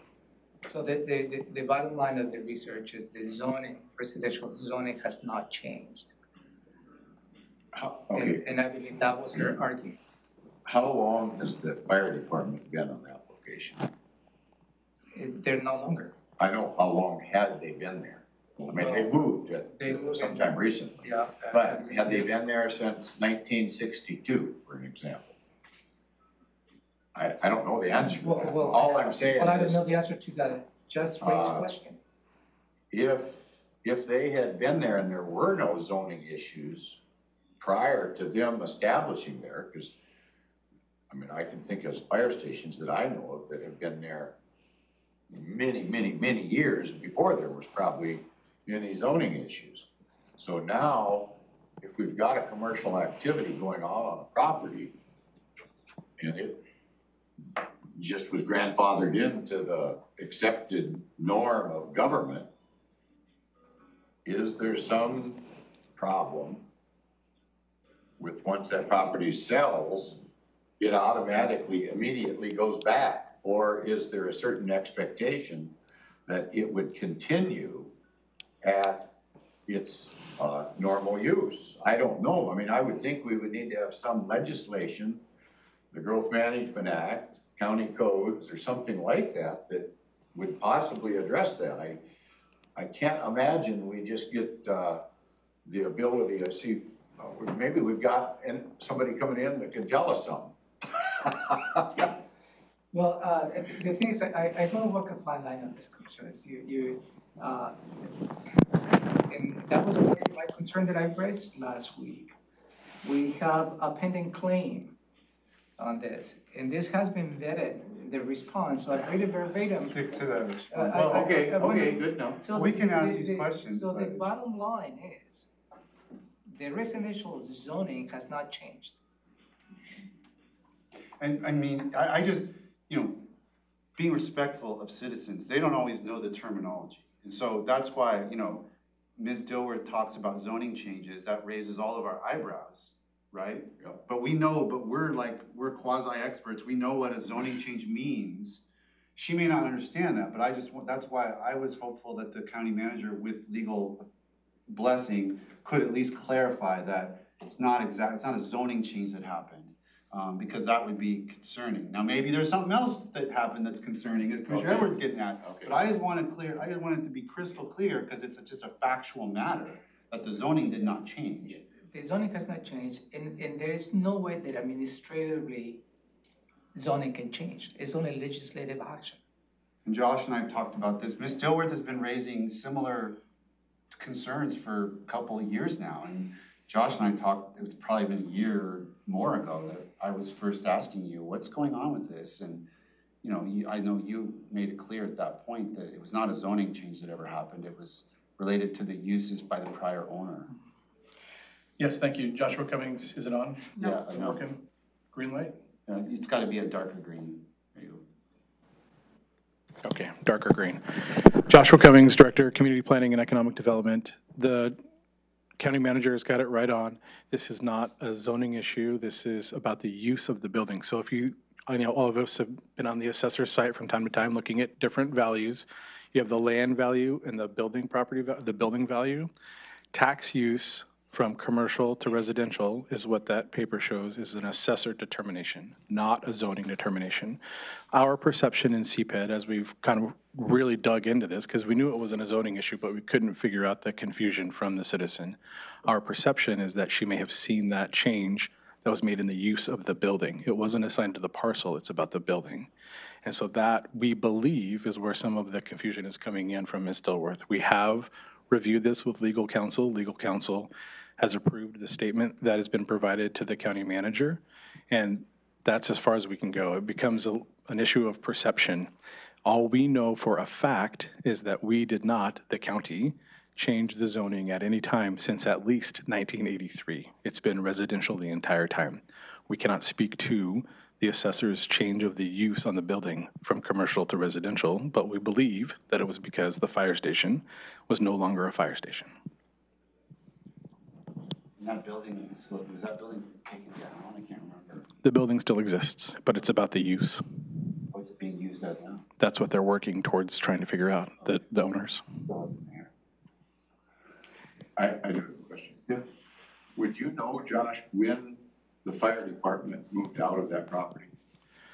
I don't know. It's when the time of, there you go, thank you. 2019? 18? 18, so 2018. Do you know when the, the fire department started using that building as a fire department? You know, we haven't dug much further down into this. This is not necessarily an application. We could do more research if directed by the Board of County Commissioners. Well, well, no, don't, don't do it on my account. I guess what I'm concerned about is if, if in 1950, that fire department went in there and has been recognized as a commercial activity, I guess, I don't know that, but, uh, somebody's gonna be getting jammed up somewhere along the line. I just wonder, if it won't be the county if, if, uh, if a use was allowed and there was no ordinances that said if the use changes, then it goes, reverts back or whatever, because it sounds like it was all done prior to any of the ordinances that we're dealing with in today's normal course of activities. That's what I'm trying to figure out, is if there was an expectation that that would keep going, or do we have an ordinance on the books? Or a state law on the books, or growth management rules on the books that say, uh, a grandfathering clause does not continue once an entity, uh, change, a property changes hands or something. I just don't know. I'm not trying to figure out the legal case, but I'd say I'm, I'd be darn nervous if, if I had told somebody they couldn't do something when they maybe had been told they could, that's all. So. That's all. I guess I, we can't go into it much deeper than that without maybe some kind of exposure issue or something. so. I think that what Ramiro's saying is that the limit, what we know is it's not a zoning change and that's all he's. We did, That's all we he's did not do something other than interpretation uh, of what we're gonna apply, the county is gonna apply uh, those zoning issues that are current, even though they weren't there when that was first put in. So, Sounds like the assessor. No, incorrect. The zoning has always been residential. well, The use of the building, That- Yeah. The fundamental difference is zoning versus use. well, So the zoning has not changed since nineteen eighty-three.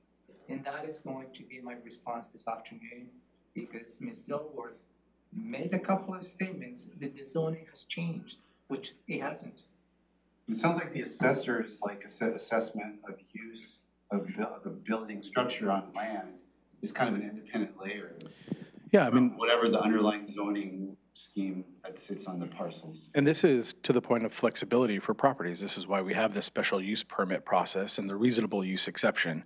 So the underlying zoning doesn't change, but you go through our process that goes to the hearings examiner that says, I'd like to do this on my property, and you're granted that special use permit. That's just part of flexibility, or not, right? But Ms. Dilworth is not uh, operating a fire department. no, Right.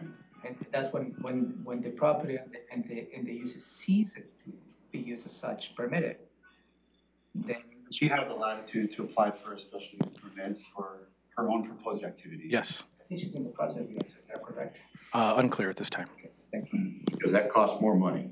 Everything costs money. Kind of. Okay, thank you, John. Okay, thank you. It was kind of fun to come over here in person. Good to see you. Thank you, thank you for joining us.